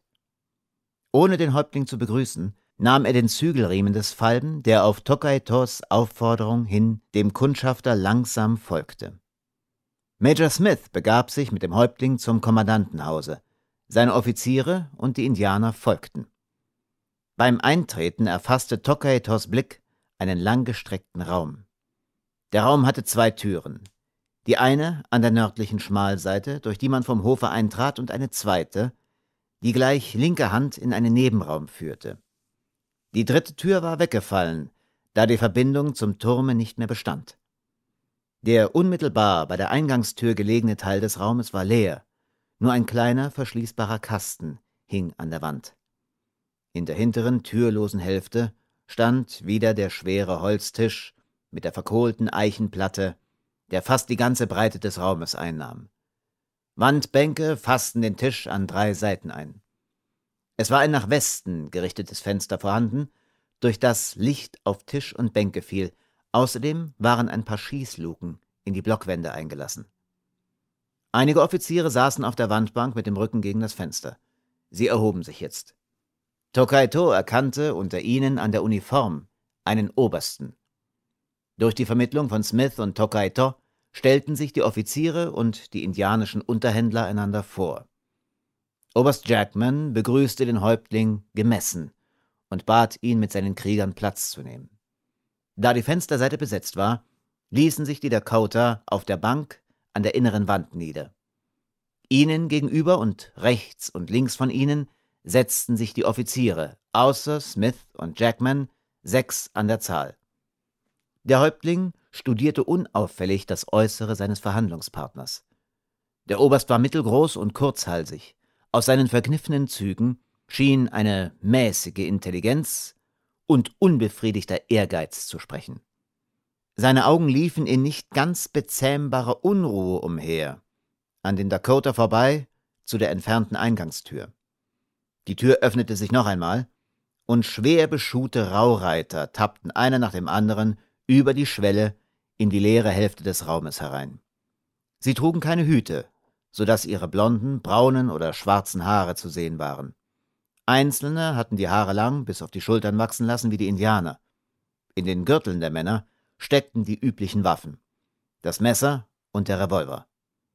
Es wurden ihre immer mehr, und sie drängten sich schon in dem schmalen Raum bei der Tür. Togaito zählte vierzehn, als der letzte eintrat.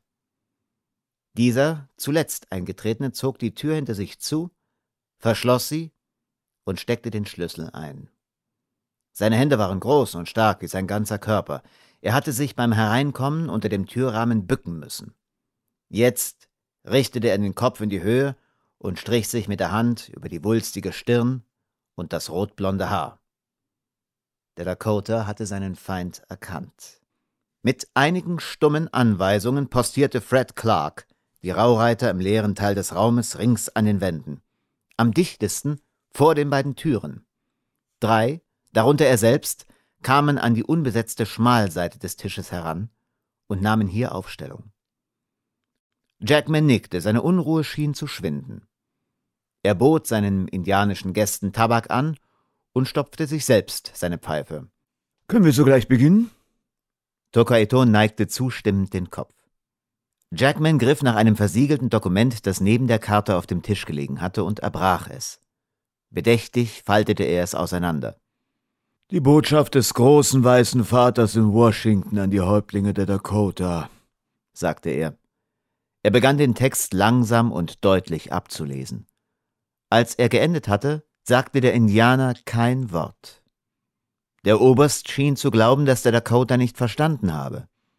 Das Dokument, das ich soeben verlesen habe, gibt die Grenzen der Reservation für die Dakota an, begann er zu erklären. Er nahm die Pfeife dabei wieder in den Mund und ließ sie im linken Winkel seiner farblosen Lippen schaukeln. Seine Worte bekamen dadurch einen näselnden Klang. Die Reservationen und ihre Grenzen sind als solche nicht Gegenstand der Unterhandlung. Sie liegen fest. Die Häuptlinge der Dakota werden durch ihre Unterschrift bestätigen, dass sie davon Kenntnis genommen haben. Unsere Verhandlung hier wird sich darum drehen, zu welchem Zeitpunkt und auf welchen Wegen sich die einzelnen Stämme der Dakota zu den für sie bestimmten Wohnplätzen begeben werden. Versteht Tokaito eine Karte zu lesen? Ja. Dann bitte ich dich hierher zu sehen. Jackman beugte sich über den Tisch und fuhr mit dem Finger über die Karte. Die schwarzen Linien umzeichnen alle diejenigen Gebiete, die der große Vater in Washington von seinem Lande, von unserem Lande, verbesserte Tokaito. Der Häuptling handelte damit bewusst gegen die strengen Regeln indianischer Umgangsformen, die das Unterbrechen eines Sprechers verboten. Jackman nahm die Pfeife aus dem Mund. Dem großen Vater in Washington gehört alles Land, vom Atlantischen bis zum stillen Ozean, bemerkte er etwas schulmeisterlich. Aber der große Vater ist bereit, einige sehr gute Stücke dieses Landes dem Stamme der Dakota zu überlassen, wenn die Häuptlinge sich verpflichten, Frieden zu halten. Auch Tokaito legte seine Pfeife zur Seite. Oberst Jackman irrt. Den roten Männern gehört alles Land, angefangen von dem großen Wasser, über dem die Sonne aufgeht, bis hin zu dem großen Wasser, über dem die Sonne niedergeht. Aber sie sind bereit, dem großen Vater alle die sehr guten Stücke dieses Landes zu lassen, in denen jetzt schon weiße Männer wohnen. Sie sind auch bereit, und darum sind wir hierher gekommen, mit den weißen Männern zu beraten, ob es notwendig und ob es möglich ist, dem großen Vater in Washington und seinem Volk noch einiges an Land zu übergeben, damit er die großen Scharen der weißen Männer, Frauen und Kinder ernähren kann. Die Häuptlinge der Dakota müssen aber darauf bestehen, dass ihren Kriegern, ihren Frauen und ihren Kindern ebenfalls genug Land bleibt, damit sie leben und ihre Zelte selbstständig versorgen können. Es trat eine Pause ein. Jackman starrte vor sich hin auf die Tischplatte. Er griff nach seiner erkaltenden Pfeife, klopfte sie aus, legte sie wieder hin und trommelte mit den Fingern nervös auf den Tisch. Endlich raffte er sich auf. Das, was du sagst, ist eine sehr merkwürdige Mischung von Rebellion und Vernunft. Er lehnte sich zurück, pfiff Luft durch die Lippen und gab den umstehenden Raureitern einen Wink. Zwei entfernten sich und kamen bald wieder mit einigen Krügen Branntwein zurück.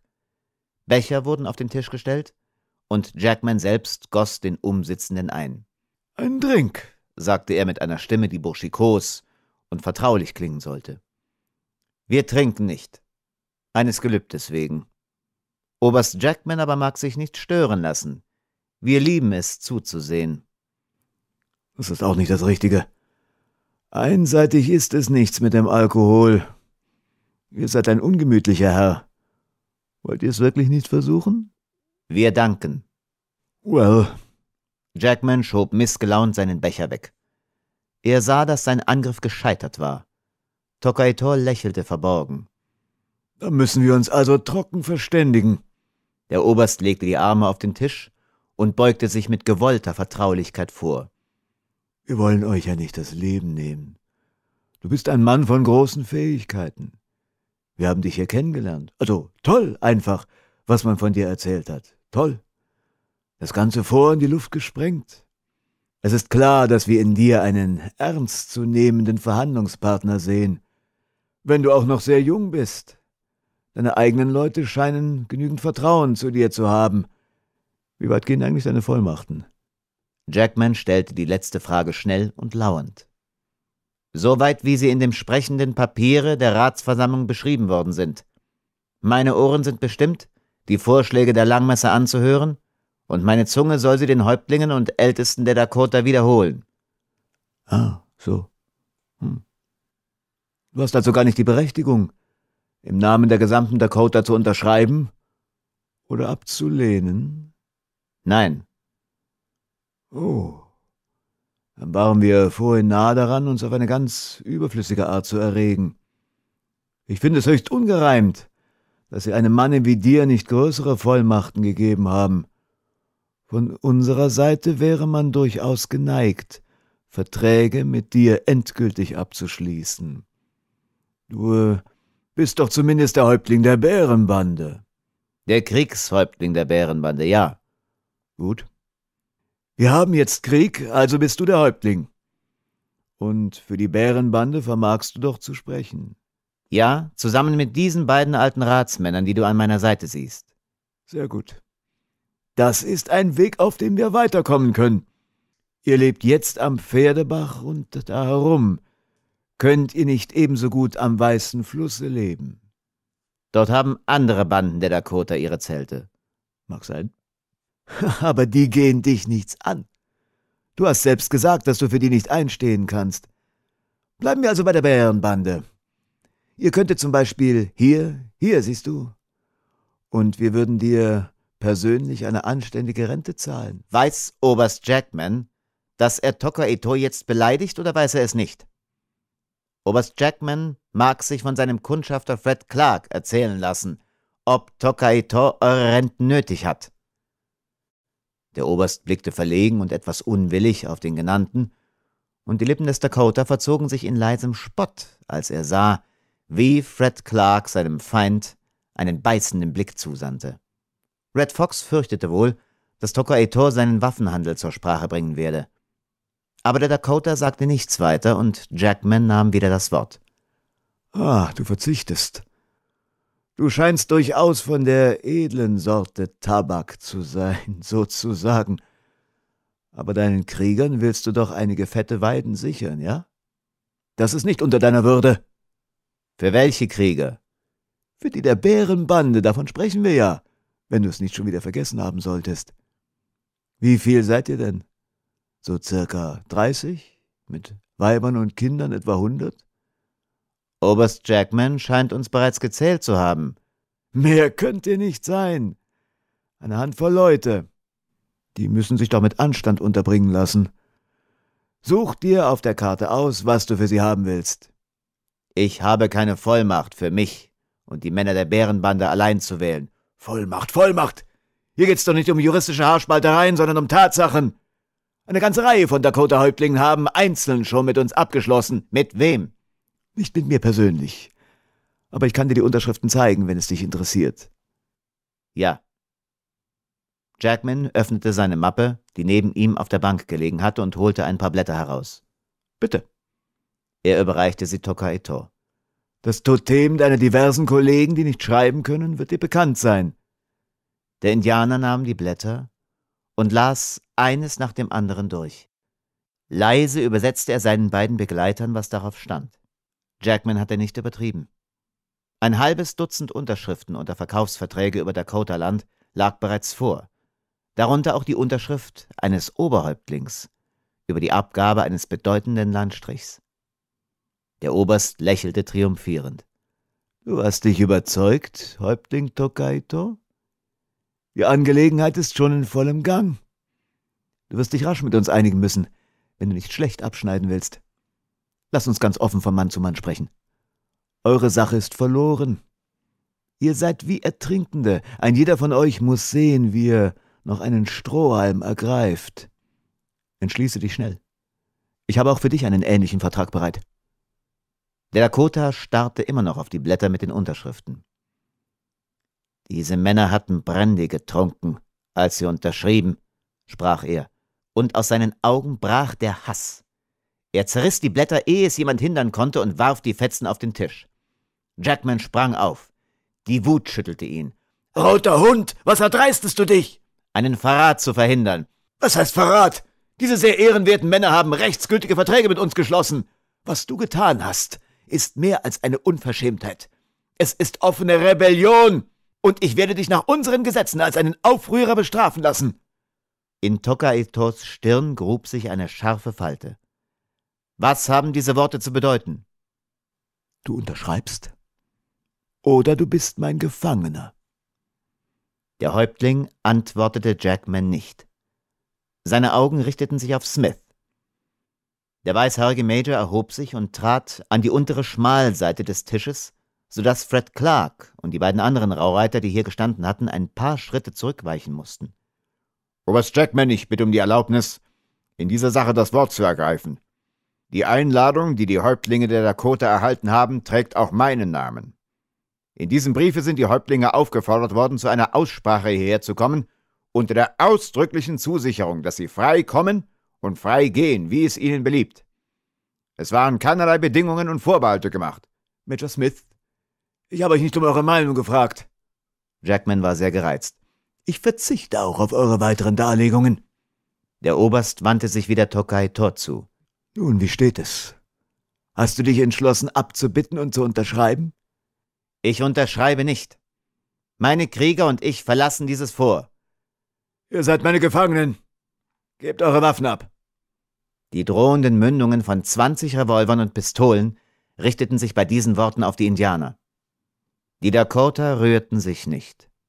Oberst Jackman, rief Smith, seid ihr ermächtigt, so zu handeln? Was ihr tun wollt, ist gegen Ehre und Gewissen. Ich habe mich verbürgt, als Mann und als Offizier dass hier nach Treue und Recht verfahren wird, wenn es sich auch nur um schmutzige Indianer handelt. Ich bitte euch, um eures eigenen Ansehens willen noch einmal zu bedenken, was ihr sprecht. Schweigt, Major Smith. Ich schweige nicht! Der Major löste seinen Säbel und warf ihn den Obersten vor die Füße. Hier! Wenn ihr mir beweist, dass wir Schurken und Verräter sind! Jackman lachte auf. Gebt ihn immerhin ab, euren Säbel, Major. Ich werde mich sowieso gezwungen sehen, ein Strafverfahren gegen euch einzuleiten. Schon einmal habt ihr diesen Dakota entkommen lassen. Zum Dank dafür, dass er unsere Munitionskolonne überfiel. Lieutenant Roach hat seine Aussagen gemacht. Major, auch ihr seid mein Gefangener. Der alte Offizier sank auf einen Stuhl zurück. Seine Schultern beugten sich, seine Lippen wurden blau, und er bedeckte das Gesicht mit beiden Händen. Jackman wollte noch etwas bemerken, aber der Dakota sah ihn mit einem Blicke an, der auch den gewissenlosen Streber verstummen ließ. Ohne ein weiteres Wort begannen die Indianer dann, ihre Waffen auf den großen Tisch zu legen. Tokaito hatte zuerst die Büchse quer über die Karte mit den schwarzen Linien gelegt. Nun holte er den Revolver aus dem Gürtel und zuletzt das Messer. Er unterdrückte jeden Blick und jedes Zögern seiner Hände. Jackman hatte ihm aufmerksam und feindselig zugesehen. Jetzt blieben seine wasserblauen Augen mit unverhohlener Neugier an dem kostbaren Griffe des Dolches hängen. Behutsam griff er danach und drehte ihn in der Hand. Uralte Schnitzereien, sagte er taktlos. Das ist ja Nordwestkultur. Wie kommt das in die Hände eines Dakota? Er winkte seinen Leuten, die mit Handschellen und Riemen an die Indianer herantraten. Red Fox machte sich das Vergnügen, derjenige zu sein, der Tokai Tor die Fesseln anlegte. Auch die beiden alten Dakota standen schon gebunden. Ihnen hatte man die Füße freigelassen. Sie wurden jetzt abgeführt. Tokai Tor behielt man im Arbeitszimmer. Der Raum leerte sich. Nur ein Raureiter blieb außer Red Fox noch zurück. Er bückte sich und hob ein Stück Fußboden wie einen Deckel auf. Red Fox packte den Häuptling und schleifte ihn zu der Stelle. Ein dämmeriges Loch gähnte dem Indianer entgegen. Red Fox hob den Gefesselten auf und warf ihn hinunter. Der Kellerraum war ziemlich tief. Tokaetor fiel hart auf trockenen, staubigen Erdboden.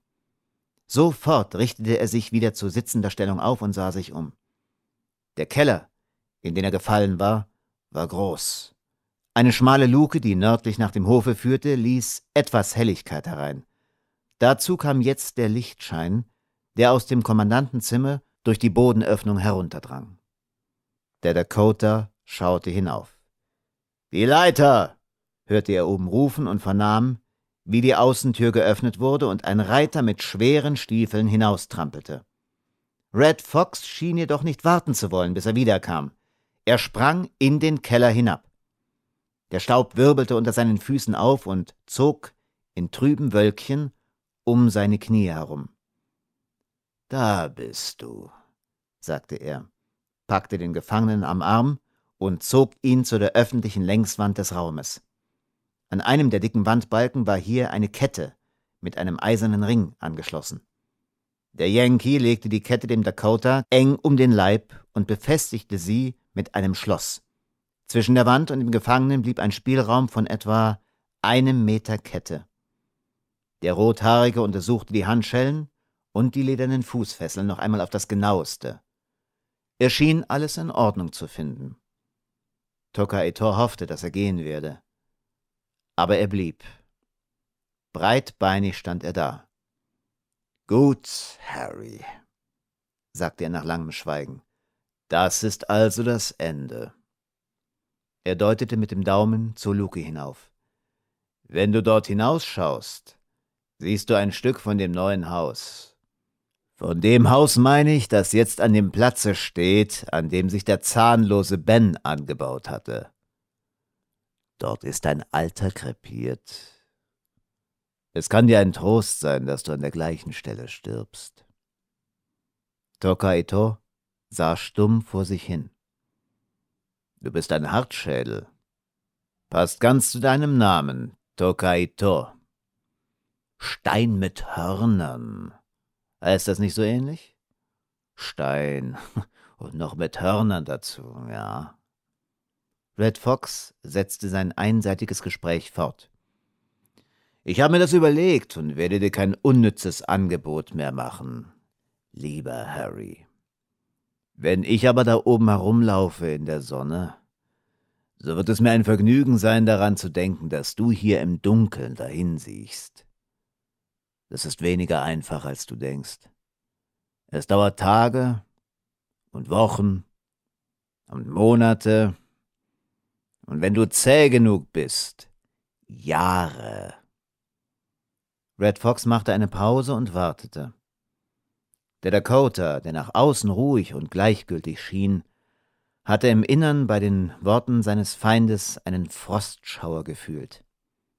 Seine Augen hatten den Raum schon durchforscht. Er war kahl und leer. Dicke Stämme bildeten die Wände, die Astansätze waren im Dämmerlicht zu erkennen. Monate, Jahre, der Dakota schüttelte den Gedanken heftig ab. Red Fox begann wieder zu sprechen. Sein Ton veränderte sich. Hast du nicht Geld bei dir? fragte er. Das könnte ich ganz gut gebrauchen. Er durchsuchte die Gürteltaschen des Gefangenen. Die Mienen des Indianers verrieten nicht, wie sehr er unter seiner demütigenden Ohnmacht litt. Ah! Red Fox hatte einen mit einer Geldrolle gefüllten Beutel gefunden. Er nahm die glänzenden Dollarstücke heraus und ließ sie von einer Hand in die andere klimpern. Dann steckte er sie zu sich. Es gibt ein paar gute Drinks. Auf dein Wohl, Häuptling der Dakota. Der Weiße entfernte sich noch immer nicht. Wie ist es mit deinen Federn? sprach er weiter und hob die Adlerfederkrone vom Haupte des Gefesselten. Schade, dass du nicht den Schmuck mit der Schleppe mitgebracht hast. Der hätte dir eigentlich noch besser gestanden. Für uns war es dir wohl nicht der Mühe wert, ihn aufzusetzen? Na, sei mir zufrieden. Dieser hier ist auch nicht schlecht. Wo hast du nur alle diese Adler aufgespürt? Oder sind die Federn noch von Pa und Opa? Jackman sammelt solches Zeug. Ich werde ihm das bringen und er wird sich freuen. Geizig ist er, aber einige Dollar wird er mir doch zahlen müssen. Ohne mich hätte er diese Sache niemals zustande gebracht. Ich habe ihn gut beraten, das musst du zugeben. Ich bin nicht so dumm wie du. Ich lasse keinen mehr laufen, wenn ich ihn erst einmal bei mir im Hause habe. Der Dakota entnahm den Worten, dass der Verrat vorbereitet gewesen war, wie er auch angenommen hatte.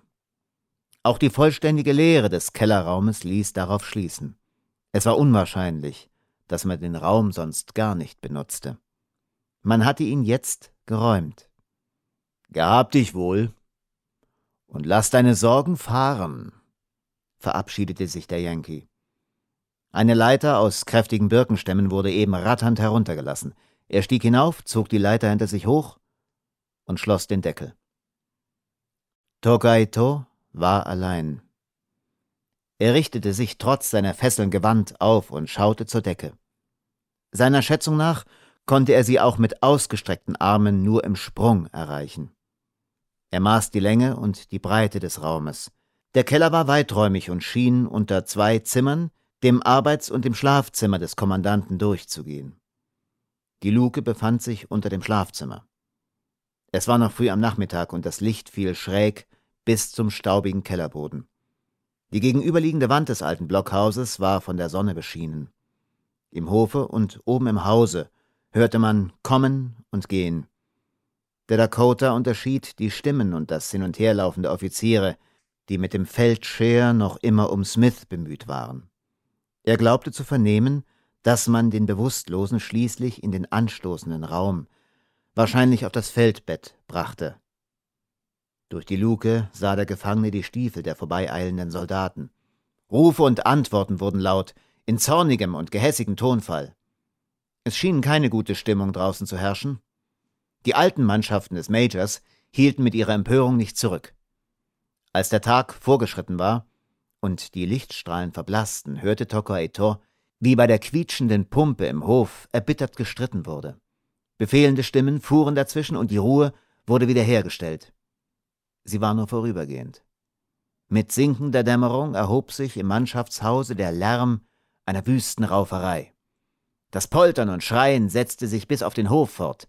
Die eine Partei schien die andere hinauszuwerfen. Schließlich fielen zwei Schüsse. Der Knall mochte die erhitzten Gemüter erschrecken und abkühlen, der Lärm ebbte ab, und langsam trat Stille ein.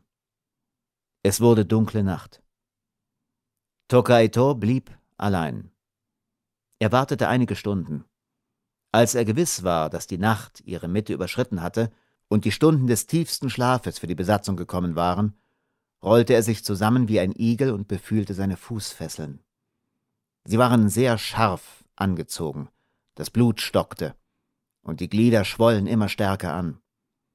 Tokaito versuchte, ob er mit seinen gebundenen Händen die Knoten lockern könnte. Es schien zu gehen. Geduldig arbeitete er, bis die Fesseln lockerer saßen.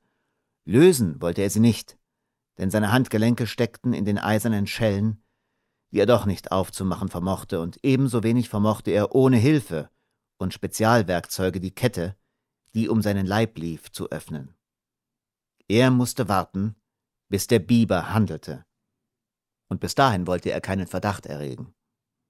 Es war unwahrscheinlich, dass der Getreue schon in dieser Nacht etwas unternahm, denn die Umstände waren für einen Befreiungsversuch sehr ungünstig. Und der Biber musste alles genau auskundschaften und sorgfältig vorbereiten. Das konnte möglicherweise Wochen dauern. Tokaito versuchte zu schlafen, denn er wollte bei Kräften bleiben. Es war noch sehr früh am Morgen, als er wieder erwachte.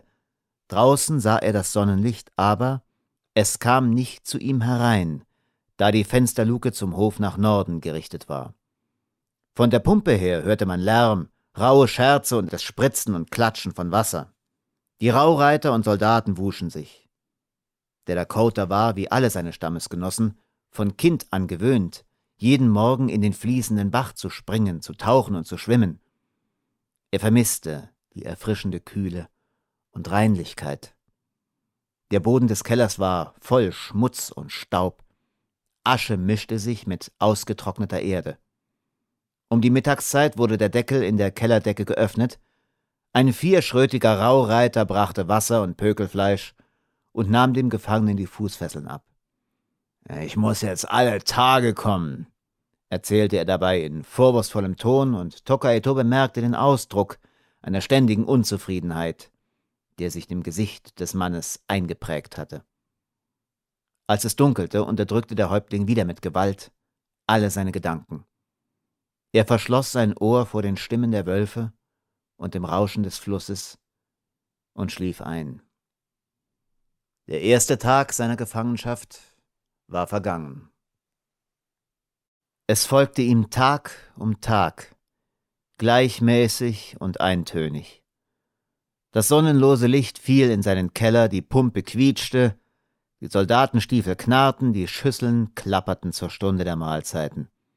Die Menschen schwatzten, fluchten, riefen, befahlen und sangen. Mindestens vierzig von ihnen lernte der Indianer an Schritt und Stimme auseinanderzuhalten. Zwei krähenähnliche Stimmen waren am leichtesten herauszuerkennen, und der Dakota hatte aus ihrem durchdringenden Gekrächze die Worte verstanden, mit denen sie für Major Smith Partei nahmen. Wenn es Mittag wurde, kam der vierschrötige Wächter mit dem verdrießlichen Gesicht und brachte das unangenehm riechende Pökelfleisch. Der Gefangene maß aus, wie viele Schritte ihm seine Kette im Halbkreis erlaubte. Es ergaben sich in dem nach links zur Luke hin abgeschrittenen Halbkreis zehn, rückwärts nur sieben, da sich die festsitzende Kette beim Umdrehen verkürzte. Der Gefangene lief hin und her. Er setzte sich, rollte sich zusammen, streckte sich und stand wieder auf. Es waren die einzigen Bewegungen, zu denen er Freiheit hatte. Sonst war er zur Untätigkeit verdammt. Wie große graue Spinnen saßen Langeweile und Hoffnungslosigkeit an den Kellerwänden und lauerten unbeweglich darauf, wann ihr Opfer sich endlich in ihren Klebfäden fangen werde. Aus den Tagen wurden Wochen, aus den Wochen der erste Monat. Die Jahreszeit war weitergegangen und die Wärme des Sommers drang in den Keller ein. Immer leiser klang das Rauschen des sinkenden Flusses und endlich verstummte es ganz. Der vierschrötige Wächter, der nie mehr ein Wort mit dem Gefangenen gesprochen, ihn aber auch ohne jegliche Misshandlungen täglich versorgt hatte, begann auf einmal zu schikanieren. Er brachte das Essen nicht mehr zu regelmäßiger Zeit, an manchen Tagen auch gar nicht, und er vergaß öfters den Wassertrunk. Noch weniger als sonst dachte er an die Reinigung des Kellers. Er knurrte und murrte, ließ die zahlreichen Flüche laut werden, die einem Raureiter zum Ausdruck schlechter Laune zur Verfügung standen, und gebrauchte alle Schimpfwörter, mit denen die Weißen die Indianer gern belegten. Er stieß den Gefangenen, trat ihn mit Füßen und schlug ihn. Tokaitor verhielt sich all dem gegenüber wie ein Toter. Er wollte dem Weißen nicht das Schauspiel geben, dass er sich vergeblich wehre. Die Misshandlungen weckten eine neue Hoffnung in ihm. Vielleicht hatten die Langmesser im Kriege eine Niederlage erlitten und rächten sich, in ihrem Ärger darüber jetzt dort, wo kein Widerstand zu befürchten war. Der Dakota versuchte eine Aussage darüber aus dem Vierschrötigen hervorzulocken. Ich weiß, sagte er eines Abends, warum du mich schlagen willst weil General Custer von den Kriegern der Dakota im Kampf geschlagen worden ist. Du dreckiger Köter, wer hat dir das gesagt? Wer schleicht sich denn rein in diesen Keller und redet hier? Euer Lieutenant Roach hat es mir erzählt. Ja, Quatschkopf. Aber bilde dir nur keine Schwachheiten ein, du Rothaut. Wir zahlen euch alles heim. Doppelt und dreifach. Ihr hinterlistigen Schleicher, ihr heimtückischen Raubkatzen, wie die Schlangen im Grase kriechen und in den Wäldern umherschleichen und dann einen ehrlichen Soldaten abmurksen, das könnt ihr. Aber merkt ihr, ihr werdet schon noch zu fühlen bekommen, was wir können. Der Vierschrötige stand mit drohend erhobenem Kochgeschirr vor dem Gefangenen. Tokaito lächelte. Schlag doch zu, sagte er, mit deinem Kochtopf. Die Weißen verstehen sehr wenig von einer Marter. Willst du noch frech sein? Dir ist wohl nicht wohl, wenn du nicht mit glühenden Eisen gezwickt wirst, wie das bei euch Mode ist, gegen einen Gefangenen. Du Hund, du roter Hund, wenn ich daran denke, dass deine Kumpane den Kaster und seine Leute alle umgebracht haben, dann möchte ich dir schon auf der Stelle die Gurgel abschneiden. Das überlasse dem General Bentin, den roten Männern die Gurgel abzuschneiden. Er wird das auf seiner Flucht noch rasch versuchen. Flucht? Himmel und Hölle und dreimal verdammt, der Roach ist aber auch ein Idiot, wie er im Buche steht. Muss der bei dem roten, räudigen Kojoten alles ausschwatzen. Aber freu dich nur nicht, du lumpiger Pudel. Du wirst nicht viel Gewinn davon haben. Bevor dich einer befreien kann, machen wir dir den Garaus, das sage ich dir. Damit du ganz klar siehst. Der Vierschrötige schlug mit dem Kochtopf zu, aber er hätte ebenso gut auf einen Baumstamm schlagen können. Tokaito rührte sich nicht und lächelte ihn ironisch an. Du hast nicht viel Kräfte, sagte er. Es war bei den Indianern Sitte, dass der Gefangene den Sieger reizte, um ihm seine Furchtlosigkeit zu beweisen. Nein, schrie der Mann wütend, aber du wirst meine Kräfte noch erleben. Das nächste Mal bringe ich mir, bringe ich mir das Langmesser Reno und seine Reiter mit, die hier im Vorbald Zuflucht suchen werden vor den Kriegern der Dakota. Dem Raureiter blieb der Mund offen stehen. Brate mir einer zehn Bären. Der Hund weiß wirklich alles. Aber auf das Vor kommt der Reno nicht. Das ist doch alles droben passiert, am Bighorn herum. Dort war es auch von unseren Männern geplant. Du hast dich nur viel zu spät mit mir unterhalten. Sonst hättest du viel erfahren können. Jetzt bleibt mir die Luft weg. So eine Frechheit ist mir noch nicht untergekommen. Du hast wohl überhaupt keine Angst. Was bildest du dir eigentlich ein? Ich werde dir das Vergnügen auch noch versalzen. Darauf kannst du Gift nehmen. Gute Nacht fürs Erste. Und mach dich morgen auf was gefasst. Der Vierschrötige zog ab. Tokaito atmete tief auf. Die Kriegspläne der Dakota hatten über Erwarten Erfolg gehabt. Vor den Drohungen des Raureiters fürchtete er sich nicht, und die Wut des Mannes war ihm eine Genugtuung, denn sie zeigte, dass die Dakota noch Gegner waren, die man fürchtete und darum hasste.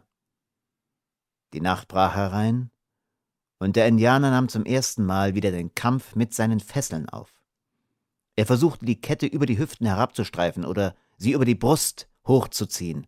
Er versuchte es mit allen Kräften seiner schmerzenden, gefesselten Arme und es wäre ihm gleichgültig gewesen, wenn er sich mit den Kleidern auch die Haut abgestreift hätte, nur frei werden. Der Indianer versuchte es drei Nächte hindurch. In seinen Zügen hatte sich etwas verändert, als diese drei Nächte vergangen waren. Er wusste jetzt endgültig, dass er sich selbst nicht zu helfen vermochte. Sein Ausdruck wurde starr und verbissen, und tiefe Schatten legten sich um seine Augen. Der Sommer schritt voran. Auf der Prärie dörrte das Gras, die Wasserläufe versiegten, die Holzhäuser speicherten die Hitze auf. Wolken von Sand stäubte der Sturm über die Blockhäuser. Die Stimmen der Vögel verstummten und die Pferde wieherten nicht mehr. Immer schärfer roch das Salzfleisch, gegen das der Gefangene einen fast unüberwindlichen Widerwillen hegte. Ein großer Teil der Besatzung zog ab. Ob der Biber, seinen Häuptling vergessen hatte? Die Gelegenheit zur Befreiung war jetzt günstiger. Wieder kam ein schwüler Tag von jener sengenden Glut, die das waldlose Land bis zum Ende des Sommers unbarmherzig heimsuchte. Der Wind wehte heiß, die Luft im Keller war verbraucht und stickig von drückender Wärme und lastete auf der Brust. Es roch brandig. Irgendwo musste das Feuer über die dürre Steppe gerast sein. Der Wind brachte den Geruch mit. Tokaitor kannte die Präriebrände von Kind auf. Er kannte den heißen Sturm, die dahinjagenden Flammen, den ziehenden Rauch, den brandigen Gestank über viele Meilen, die Flucht der verstörten Mustangs, die Angst der dahingaloppierenden Büffel, deren Hufe den Staub hoch aufwirbelten, den Flug der Vögel, die endlich erschöpft zu Boden sanken. Er kannte die Ruhe der roten Männer, die es verstanden, ein Gegenfeuer anzuzünden. Auf den verbrannten Wiesen konnten die Menschen sich dann aufhalten und abwarten, wie die heranrasende feindliche Feuersbrunst an der verkohlten Fläche abstarb. Der Staub auf dem Boden des Kellers war wie Pulver. Bei jeder Bewegung stäubte er hoch und sank dann langsam, in kleinen Teilchen schwebend und tanzend, auf die Wandbalken, auf den Gefangenen und auf den Boden herab. Wieder einmal tänzelten und stampften die Hufe des falben Mustangs draußen im Hofe, unwillig im Kampfe mit einem fremden Reiter. Eine mehrschwänzige Lederpeitsche klatschte grausam auf den Pferdekörper, und der Dakota zuckte und biss in seine Ketten. Der Reiter draußen flog fluchend zu Boden und man trug ihn fort. Ein Mann mit weichen Moccasins an den Füßen führte den aufgeregten Mustang mit vieler Mühe weg. Der Häuptling träumte mit offenen Augen von dem Winde der endlosen Prärie, der das Büschelgras in Wellen trieb, und von der Jagd, auf der er den falben Mustang gefangen hatte. Jetzt war dieser gleich ihm gefangen und wurde von den Peitschen der Wachuchin geschlagen, die das Pferd nicht anders als einen Sklaven ansahen. Gegen Abend sprang plötzlich wieder ein Sturm auf. Er rüttelte an Pfahlmauern und Blockhäusern. Im Umsehen stürzten mit krachendem Gepolter die Bretter des Turmdaches in den Hof herab. Stimmen wurden laut, halb verweht vom fauchenden Atem der Prärie.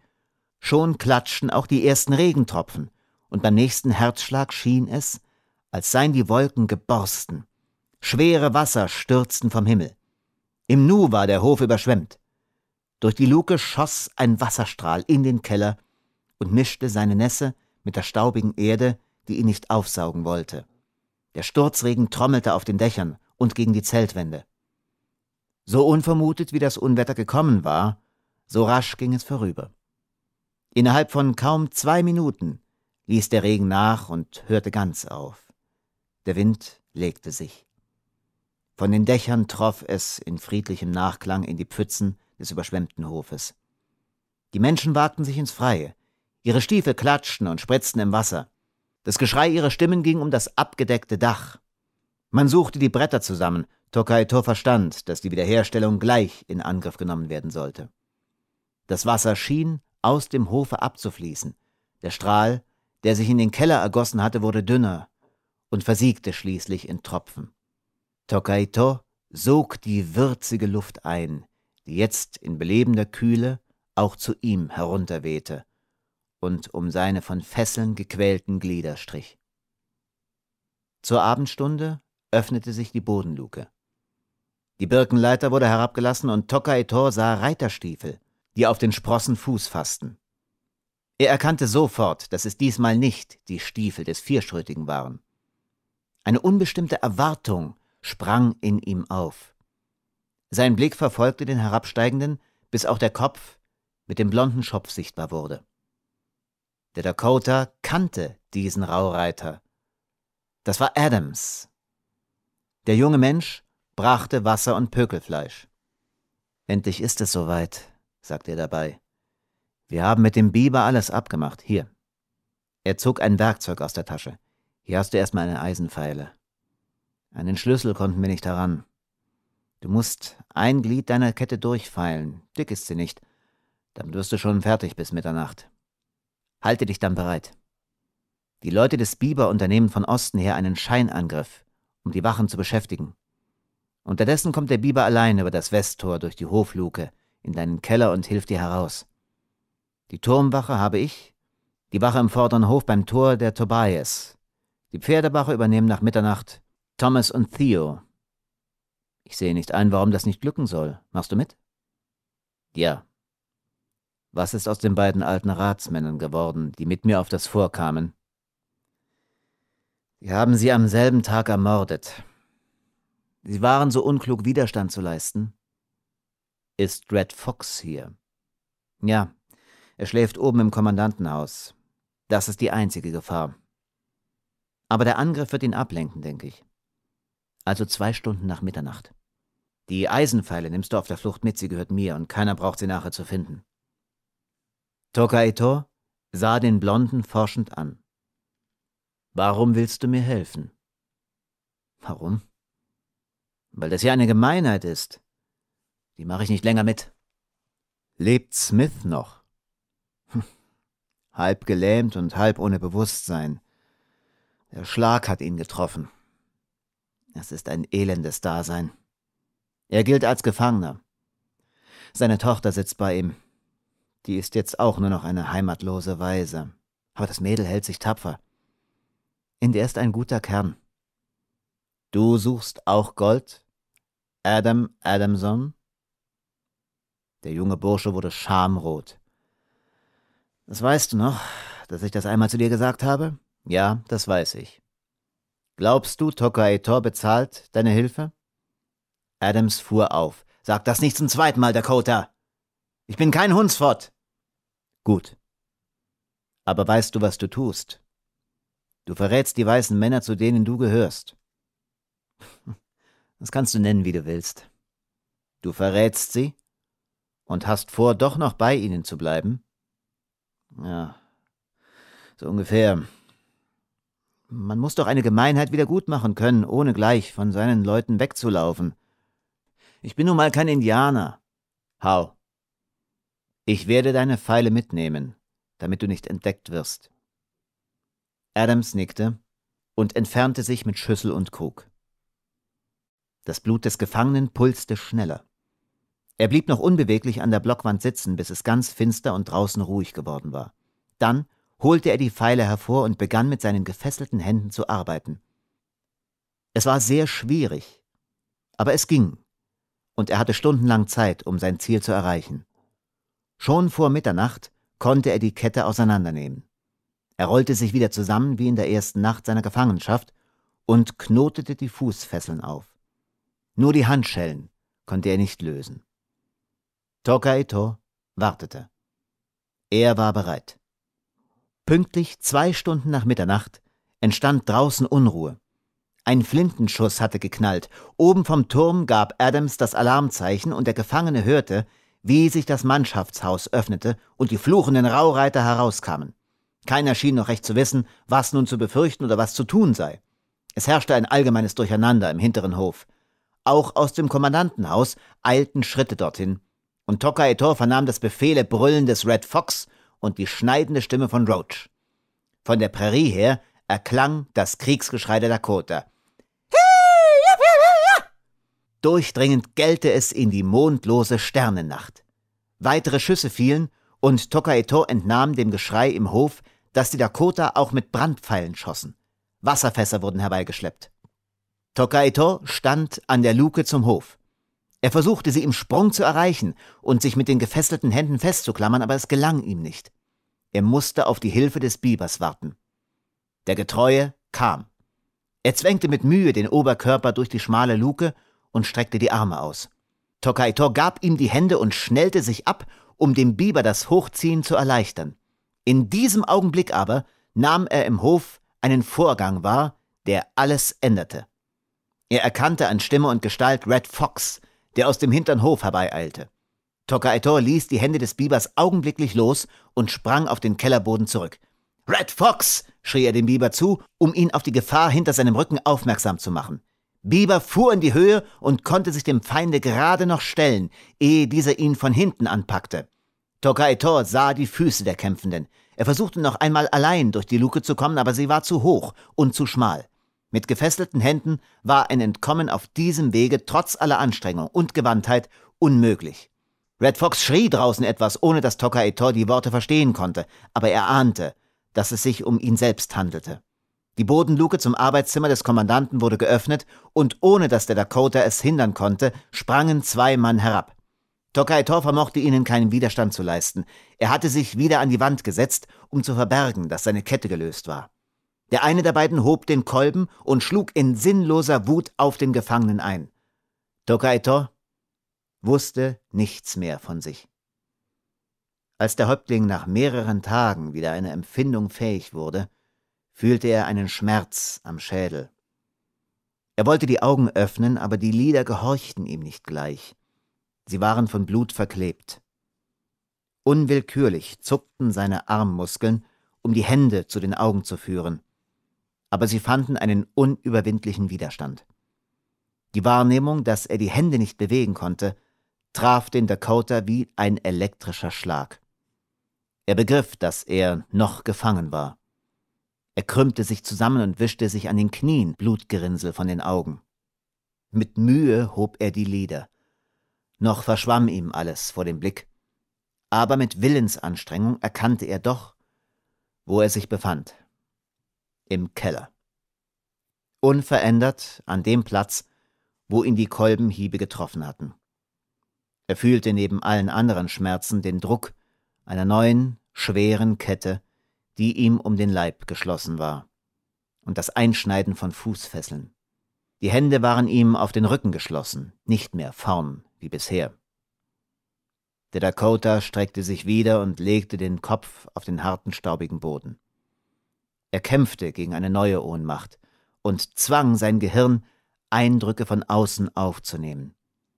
Zwischen dem Surren und Klopfen, das ihm der Andrang des Blutes noch in den Ohren verursachte, vernahm er aus dem Hof ein auf und abschwellendes Surren und Klingen von menschlichen Stimmen, Reden, Rufe, Lachen und Singen, dazwischen scharrendes Laufen und das Stampfen von Pferden. Er begriff, dass die Raureiter und Soldaten guter Dinge waren. Diese Erkenntnis legte sich ihm schwer auf die Brust. Und er erlag von neuem der Bewusstlosigkeit. Hände, die an ihm herumarbeiteten, weckten ihn wieder. Sein Körper wurde betastet und bewegt. Dich haben sie übel zugerichtet, sagte eine krächzende Stimme. Aber doch lebst du noch. Wir haben den Biber schon wissen lassen, du seist tot. Tokaitor hob die Augenlider. Thomas heiß ich, sagte der Mann. Ich bin ein Rinderhirt von der Farm des Adams. Adams ist geflohen. Sie haben seine Pfeile bei dir gefunden und Red Fox wollte ihn ermorden. Wir müssen auch gehen, wir beide, Thomas und Theo. Uns trauen sie auch nicht mehr. Wir gehen übrigens gern. Das Morden und Betrügen lernen wir auf unsere alten Tage doch nicht mehr. Und der Lohn war hier so schlecht wie überall. Tobias? fragte der Dakota. Der bleibt. Der Red Fox hat ihn zwar schon zweimal krumm und lahm geschlagen. Ich weiß nicht, was er gegen ihn hat. Aber der Tobias ist zäh wie eine Katze und hat sich bei Roach eingeschmeichelt. Listig und verschlossen seid ihr Roten, wenn's darauf ankommt. Das versteht ihr besser als wir. Tobias bleibt. Wenn sich noch mal was machen lassen sollte für dich, wird er schon dran denken. Der Biber ist ja nun weg mit seinen Leuten, weil wir ihm gesagt haben, du seist tot. Er hat Glück gehabt, dass er den Clown des Red Fox in der Nacht damals entkam. Thomas lockerte dem Gefangenen die Fußfesseln und brachte ihm Wasser. Zu essen vermochte Tokaitor noch nichts. Als der Gefangene wieder allein war, legte er sich zu Boden und schloss die Augen. In dieser Stunde war es ihm, als fasse ihn das Wort gefangen, mit würgender Hand an der Kehle und ersticke ihm den Atem. In ohnmächtiger Wut beneidete er die heulenden, hungrigen Wölfe, die frei waren als ein Abglanz des Morgenlichts in den Keller fiel, war der Gefangene wieder bewusstlos. Es währte diesmal sechs Tage, bis Tokaetor wieder zu sich kam. Die Kräfte seines gesunden Blutes hatten sich selbst geholfen. Um ihn war alles unverändert.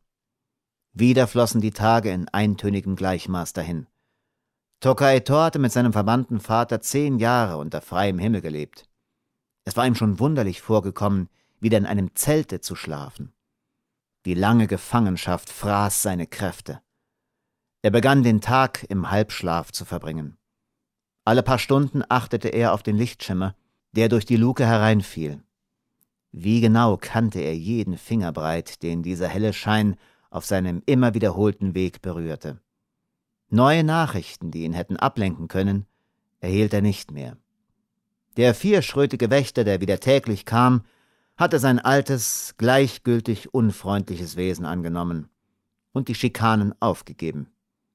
Tokaitor schloss daraus, dass die Kriegsereignisse jetzt mehr zugunsten der weißen Männer verliefen.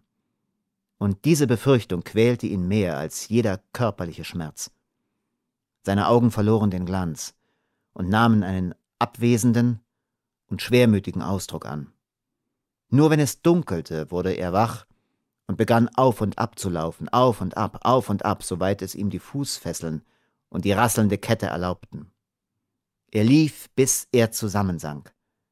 Dann vergaß er den gleichmäßigen Schritt der Wache im Hof und hörte nur noch das traurige Lied des Minyatanka und das langgezogene Heulen der Wölfe aus der freien Prärie. Bei Morgengrauen schloss er müde die Augen. Das Essen nahm er kaum mehr an, zum Ärger seines vierschrötigen Wächters. Der Lichtschimmer durch die Luke wurde matter. Er kam später und ging früher. Der Sommer neigte sich dem Ende zu. Kalte Stürme erhoben sich und brachen sich tobend an der Pfahlmauer und den Blockhäusern. Ein weiterer Teil der Besatzung zog ab. Es blieben nur einige Mann, die in den Gebäuden bequem untergebracht werden konnten. Der erste Schnee fiel spät in diesem Winter. Die ganze Nacht hatte der Wind geseufzt und gesungen. Als das Mondlicht Himmel und Erde erhellte, schwebten die ersten kleinen, hartgefrorenen Körner zögernd herab. Als es auf den Mittag zuging, hörte es schon wieder auf zu schneien. Der Indianer hatte sich aufgerichtet und war vorgetreten, soweit ihm das seine Kette erlaubte. Er stand da, mit der Regungslosigkeit eines gefangenen Adlers, und sah hinauf zu der Luke, durch die das milchige Licht des Tages eindrang. Sein Auge fand durch die Luke ein Stück des Hofes und die Blockwand des gegenüberliegenden Hauses, das an der Stelle erbaut war, an der das Haus des zahnlosen Ben gestanden hatte. Vom Himmel sah er nichts und nichts von der Prärie. Der Dakota ließ sich im Halbdunkel an der Wand nieder. Seine Kette klirrte, als er sich setzte. In seinem Blick erlosch alle Anteilnahme. Er wusste, dass sich jetzt bald, wie jeden Tag, der Bodendeckel öffnen und der Raureiter erscheinen werde mit dem Pökelfleisch, dessen Genuss der Indianer seit Tagen ganz verweigerte. Es wurde wieder einmal Nacht. Oben im Kommandantenzimmer erklang ein leises Geräusch, wie der Schritt eines tastenden Fußes auf dem Bretterboden. Ein Brett knarrte, Darauf wurde es wieder ganz still. Der Indianer bewegte den Kopf. Seine Energie erwachte mit plötzlicher Gewalt und er horchte angespannt. Sein empfindliches Gehör nahm den nächsten vorsichtigen Schritt wahr und noch einen. Die Vorstellung von einem Menschen, der da oben in der Nacht heimlich tat, verband sich im Herzen des Gefangenen sofort mit dem unterdrückten Traum von einem Freund oder Befreier. Heimlich schlich jemand da oben im verlassenen Arbeitszimmer, heimlich, aber ungeschickt mit den steifen Stiefeln der Wachuchin. Unter dem Mokassin des Tobias hätten weniger Dielen geknarrt. Wer war da oben? Was wollte er? Würde er den Deckel heben? An dem Deckel, der die Bodenöffnung zum Keller verschloss, wurde gearbeitet. Der Deckel bewegte sich ein wenig, fiel wieder zurück, als sei er schwachen Händen zu schwer gewesen, und bewegte sich von neuem. Er wurde ganz weggeschoben. Tokaitor befand sich in einiger Entfernung von der Öffnung und konnte nicht hinaufsehen. Er erblickte nur die Leiter, die leise heruntergelassen wurde.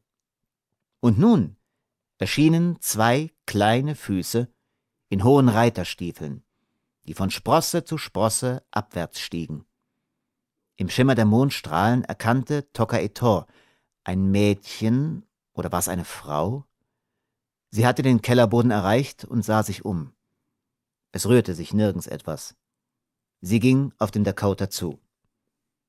Ich bin Kath, sagte sie einfach, die Tochter des Samuel Smith und die Frau des Adams. Mein Vater ist vor wenigen Tagen gestorben. Ich gehe jetzt auch fort. Tobias hat mir den Auftrag gegeben, dass ich dir vorher etwas sagen soll. Ja? Du musst wieder essen, Häuptling Tokaito. Der Krieg ist zu Ende, und der Befehl, dich freizulassen, soll unterwegs sein. Das hat Roach dem Tobias erzählt. Wie hat der Krieg geendet? Mit eurer Niederlage, Häuptling. Wo ist Red Fox? Auf der Agentur der Reservation, als Ratgeber des Agenten. Was macht Adams? Er geht nach Kanada. In den Staaten, wo sein Vater ermordet wurde, will er nicht bleiben. Sein Vater ermordet. Wie geschah das? Sie haben dem alten Mann die Farm weggenommen, weil er das Land, das er von den Dakota gekauft und urbar gemacht hatte, nicht noch einmal bezahlen wollte. Er sagte, es ist Betrug und hat zur Flinte gegriffen, als die Landmesser kamen. Dann floh er. Sie haben ihn aufgegriffen und haben ihn nach ihrer Sitte mit heißem Teer beschmiert und mit Federn verklebt und gehetzt, bis er tot war. Auch die weißen Männer verstehen zu martern? Kauft sich Adams wieder Land? Wir haben kein Geld. Er muss sich Fallen leihen bei der Pelzkompanie und will als Biberjäger arbeiten. Er wird der Schuldsklave der roten Kompanien sein. Sein Schicksal ist wie das eines roten Mannes. Vertrieben ist er und verachtet. Sein Schicksal ist unser Schicksal, wiederholte Tokaetor mit gespannter Aufmerksamkeit. Aber dennoch will er kein Indianer sein. So sagte er mir. Kath dachte nach. Das sagte er dir? Ja, ehe er fliehen musste. Unterdessen ist viel geschehen, das hast du von mir gehört. Die Haut des Adams ist weiß, aber heute wäre er euer Bruder, wenn er bei euch leben dürfte. Er darf es aber nicht. Die Grenzen der Reservation sind für uns Weiße verschlossen. Nur die Flinten hindern ihn noch, zu uns zu kommen? Das sind fast dieselben Worte, die er zu mir sagte. Sagte? Hält er sich denn noch in der Nähe auf? Ja, er wartet auf mich. Ich musste bei meinem sterbenden Vater bleiben. Aber jetzt gehen wir zusammen nach Kanada. Adams ist der erste Wachochin, der solche Worte gesprochen hat, wie du sie mir berichtest. Dennoch wollte er uns verachten, weil wir nicht den Pflug führen und den Acker bebauen. Aber das werdet ihr lernen, erwiderte Kath sicher. Im Hof ließen sich Schritte vernehmen. Die junge Frau eilte zu der Leiter. Die Schritte entfernten sich und verhallten. Geh jetzt, forderte der Gefangene Kath auf. Du darfst nicht entdeckt werden. Dein Mut war groß genug. Ich gehe. Du bist unser Bruder. Wenn du frei wirst, komme nach Kanada. Dorthin verfolgt dich niemand. Wir werden an der Grenze in der Nähe der Waldberge sein. Du auch? Ja. Das Leben droben ist schwer, ich weiß, aber ich will es mit Adams versuchen. Wo soll ich sonst bleiben? Ich bin jung und gesund und will unter ehrlichen Menschen sein. Leb wohl. Kath fasste die Leiter. Weiße Frau. Der Gefangene beugte sich in Ketten vor wie ein Verdurstender, dem Wasser gezeigt wird. Ein Gedanke hatte ihn so übermächtig gepackt, dass er die Warnung vergaß, die er selbst ausgesprochen hatte, und Kath mit seinen Worten noch zurückhielt. Weiße Frau, du und Adams und Theo und Thomas würden bereit sein, mit roten Männern und Frauen zusammenzuleben? Mit solchen roten Menschen wie du? Und Bieber? Ja. Kath ließ die Leiter wieder los und wandte sich dem Gefangenen noch einmal zu. In Kanada sind wir alle frei. Tokaetor wartete die Antwort auf diese Frage nicht ab. Er fuhr selbst fort. Ja, ich weiß, dass wir in Kanada frei sind. Aber ich gehe nicht allein nach Kanada. Die Männer und Frauen der Bärenbande sollen mit mir kommen. Kath senkte den Kopf. Sie sind auf der Reservation gefangen. Aber nicht gefesselt wie ich. Überlass das mir. Ich will wieder frei sein. Sage das dem Tobias. Ich werde wieder um mein Leben kämpfen. Hau. Nun gehe. Kath stieg schnell die Leiter hinauf. Der Deckel wurde wieder zugeschoben und der Gefangene vernahm noch die leichten, vorsichtigen Schritte. Dann war alles still. Tokaitor gedachte der Nachrichten, die Adams Frau ihm gebracht hatte. Tokaitor begann gegen Husten und Fieber mit seinem Willen zu kämpfen. Er machte täglich wieder alle Schritte und Bewegungen, die seine Kette erlaubten.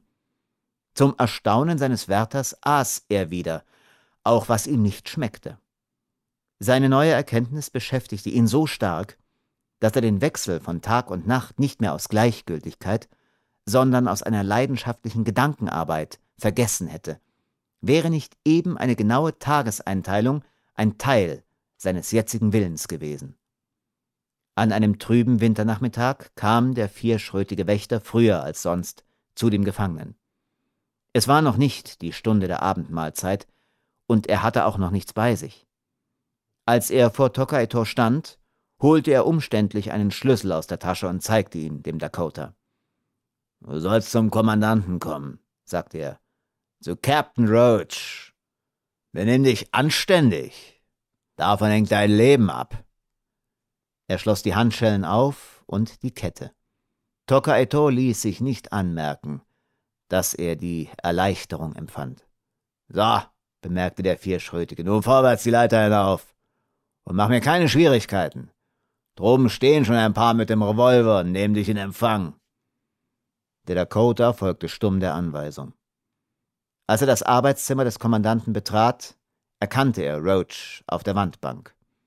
Der Captain hatte sich zurückgelehnt und hielt die Zigarette zwischen den gelben Fingern. In seinen Mienen lag alles, was ein karrierelüsterner und boshafter Mensch im Augenblick eines Triumphes empfindet. Er rümpfte die Nase, als Tokaetor in den blut- und staubbeschmutzten Kleidern vor ihm stand, deren kostbare Stickerei kaum mehr zu erkennen war. Was bringst du mit dem dreckigen, stinkenden Kerl hier rein? sagte er schnarrend zu dem vierschrittigen Raureiter. Er hätte sich auch erst reinigen können, ehe er zum Kommandanten kommt. Na, lass jetzt, fügte er hinzu. Wir werden die Angelegenheit möglichst kurz machen. Er betrachtete den Dakota wie ein Tier, das auf dem Markt taxiert wird. Du scheinst ziemlich krank zu sein, bemerkte er. Schwindsucht oder etwas ähnliches. Roach gab sich keine Mühe, seine Befriedigung darüber zu verbergen. Der Feldherr meinte jedenfalls Schwindsucht. Tokaito erinnerte sich daran, dass er einmal untersucht worden war. Es bestehen keine Bedenken mehr, dich zu entlassen, wenn du zur Vernunft gekommen bist und unterschreibst, dass du dich widerstandslos auf die Reservation begeben wirst.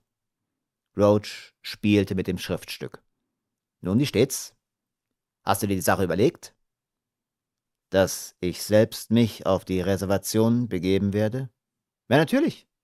Für deinen Stamm brauchst du nicht mehr zu unterschreiben, der ist längst dort.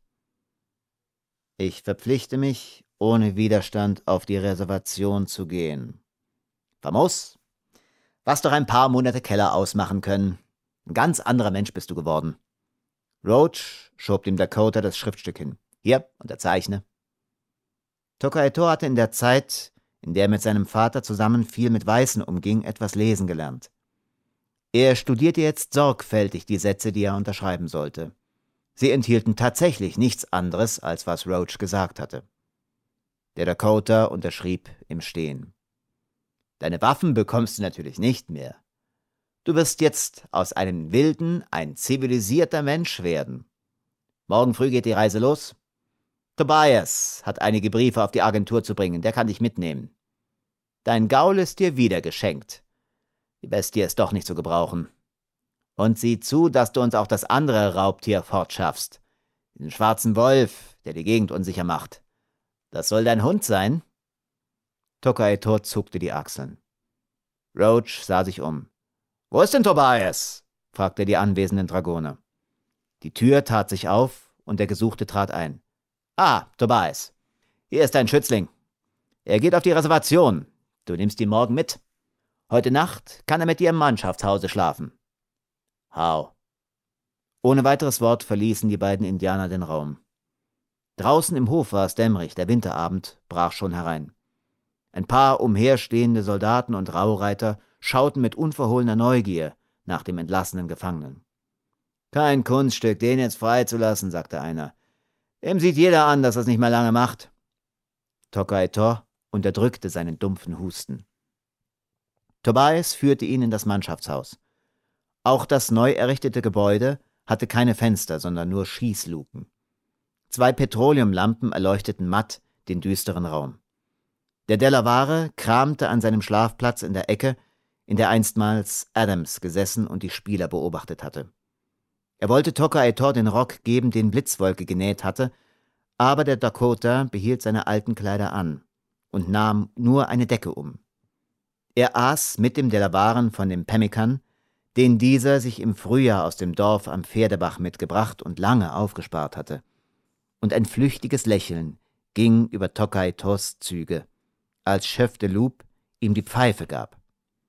Wollen wir zu den Pferden gehen? schlug der Delabare vor. Tokaito erhob sich rasch. Die beiden Indianer verließen das Haus, in dem sich die Mannschaften schon zum Abend schwatzend, rauchend und spielend zusammenfanden. Die Wache am Tor ließ Tobias mit seinem Begleiter ohne weiteres durch. Vor dem Tor war eine Koppel, in der einige Tiere das braune Wintergras weideten. Nur ein falber Hengst stand mit gesenktem Kopf, ohne zu fressen. Tokaito lockte leise.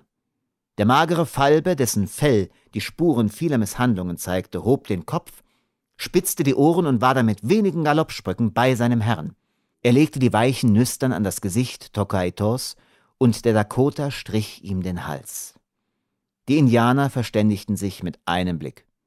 Tobias nahm die Stangen am Koppelausgang heraus, und die beiden holten sich ihre Tiere. Sie ritten in das Sand- und Grasland hinaus. Als die Reiter die Station so weit hinter sich gelassen hatten, dass sie von dort nicht mehr gehört und gesehen werden konnten, machten sie Halt. Tokaitor musste den Falben scharf zügeln, denn das Tier wollte stürmisch weiter in die Freiheit und zu den ihm bekannten Prärien im Südwesten ausbrechen. Feine Schneekristalle huschten mit ihrem schnell aufblitzenden und wieder versinkenden Schimmer durch die Lüfte. Zwischen den Wolken flimmerten Sterne, fern wie seit Tausenden und Abertausenden von Jahren.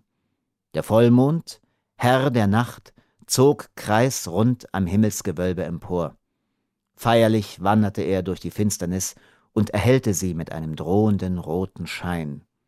Rings lag das leere Land. Seine Söhne, die Dakota, waren vertrieben, und noch hatte keiner der neuen Herren Lust gezeigt, sich in der unfruchtbaren Wildnis niederzulassen. Endlos schweifte der Blick über kahle Sandhügel, über von kurzem Gras bewachsene Höhenkämme und Täler. Am Flussufer neigten sich spärliche Weiden im Atem des Winters. Tokaito sah zum letzten Male seine Heimat. Am nächsten Morgen sollte der Ritt zur Reservation beginnen.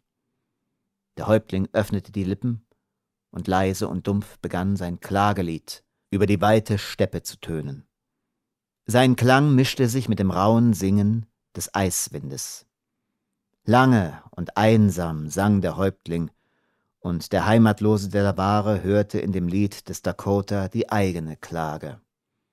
Da war es, als habe das Lied des Indianers den schlafenden Boden geweckt. Von einem der mondbeschienenen Hügel hob sich ein fremder Schatten.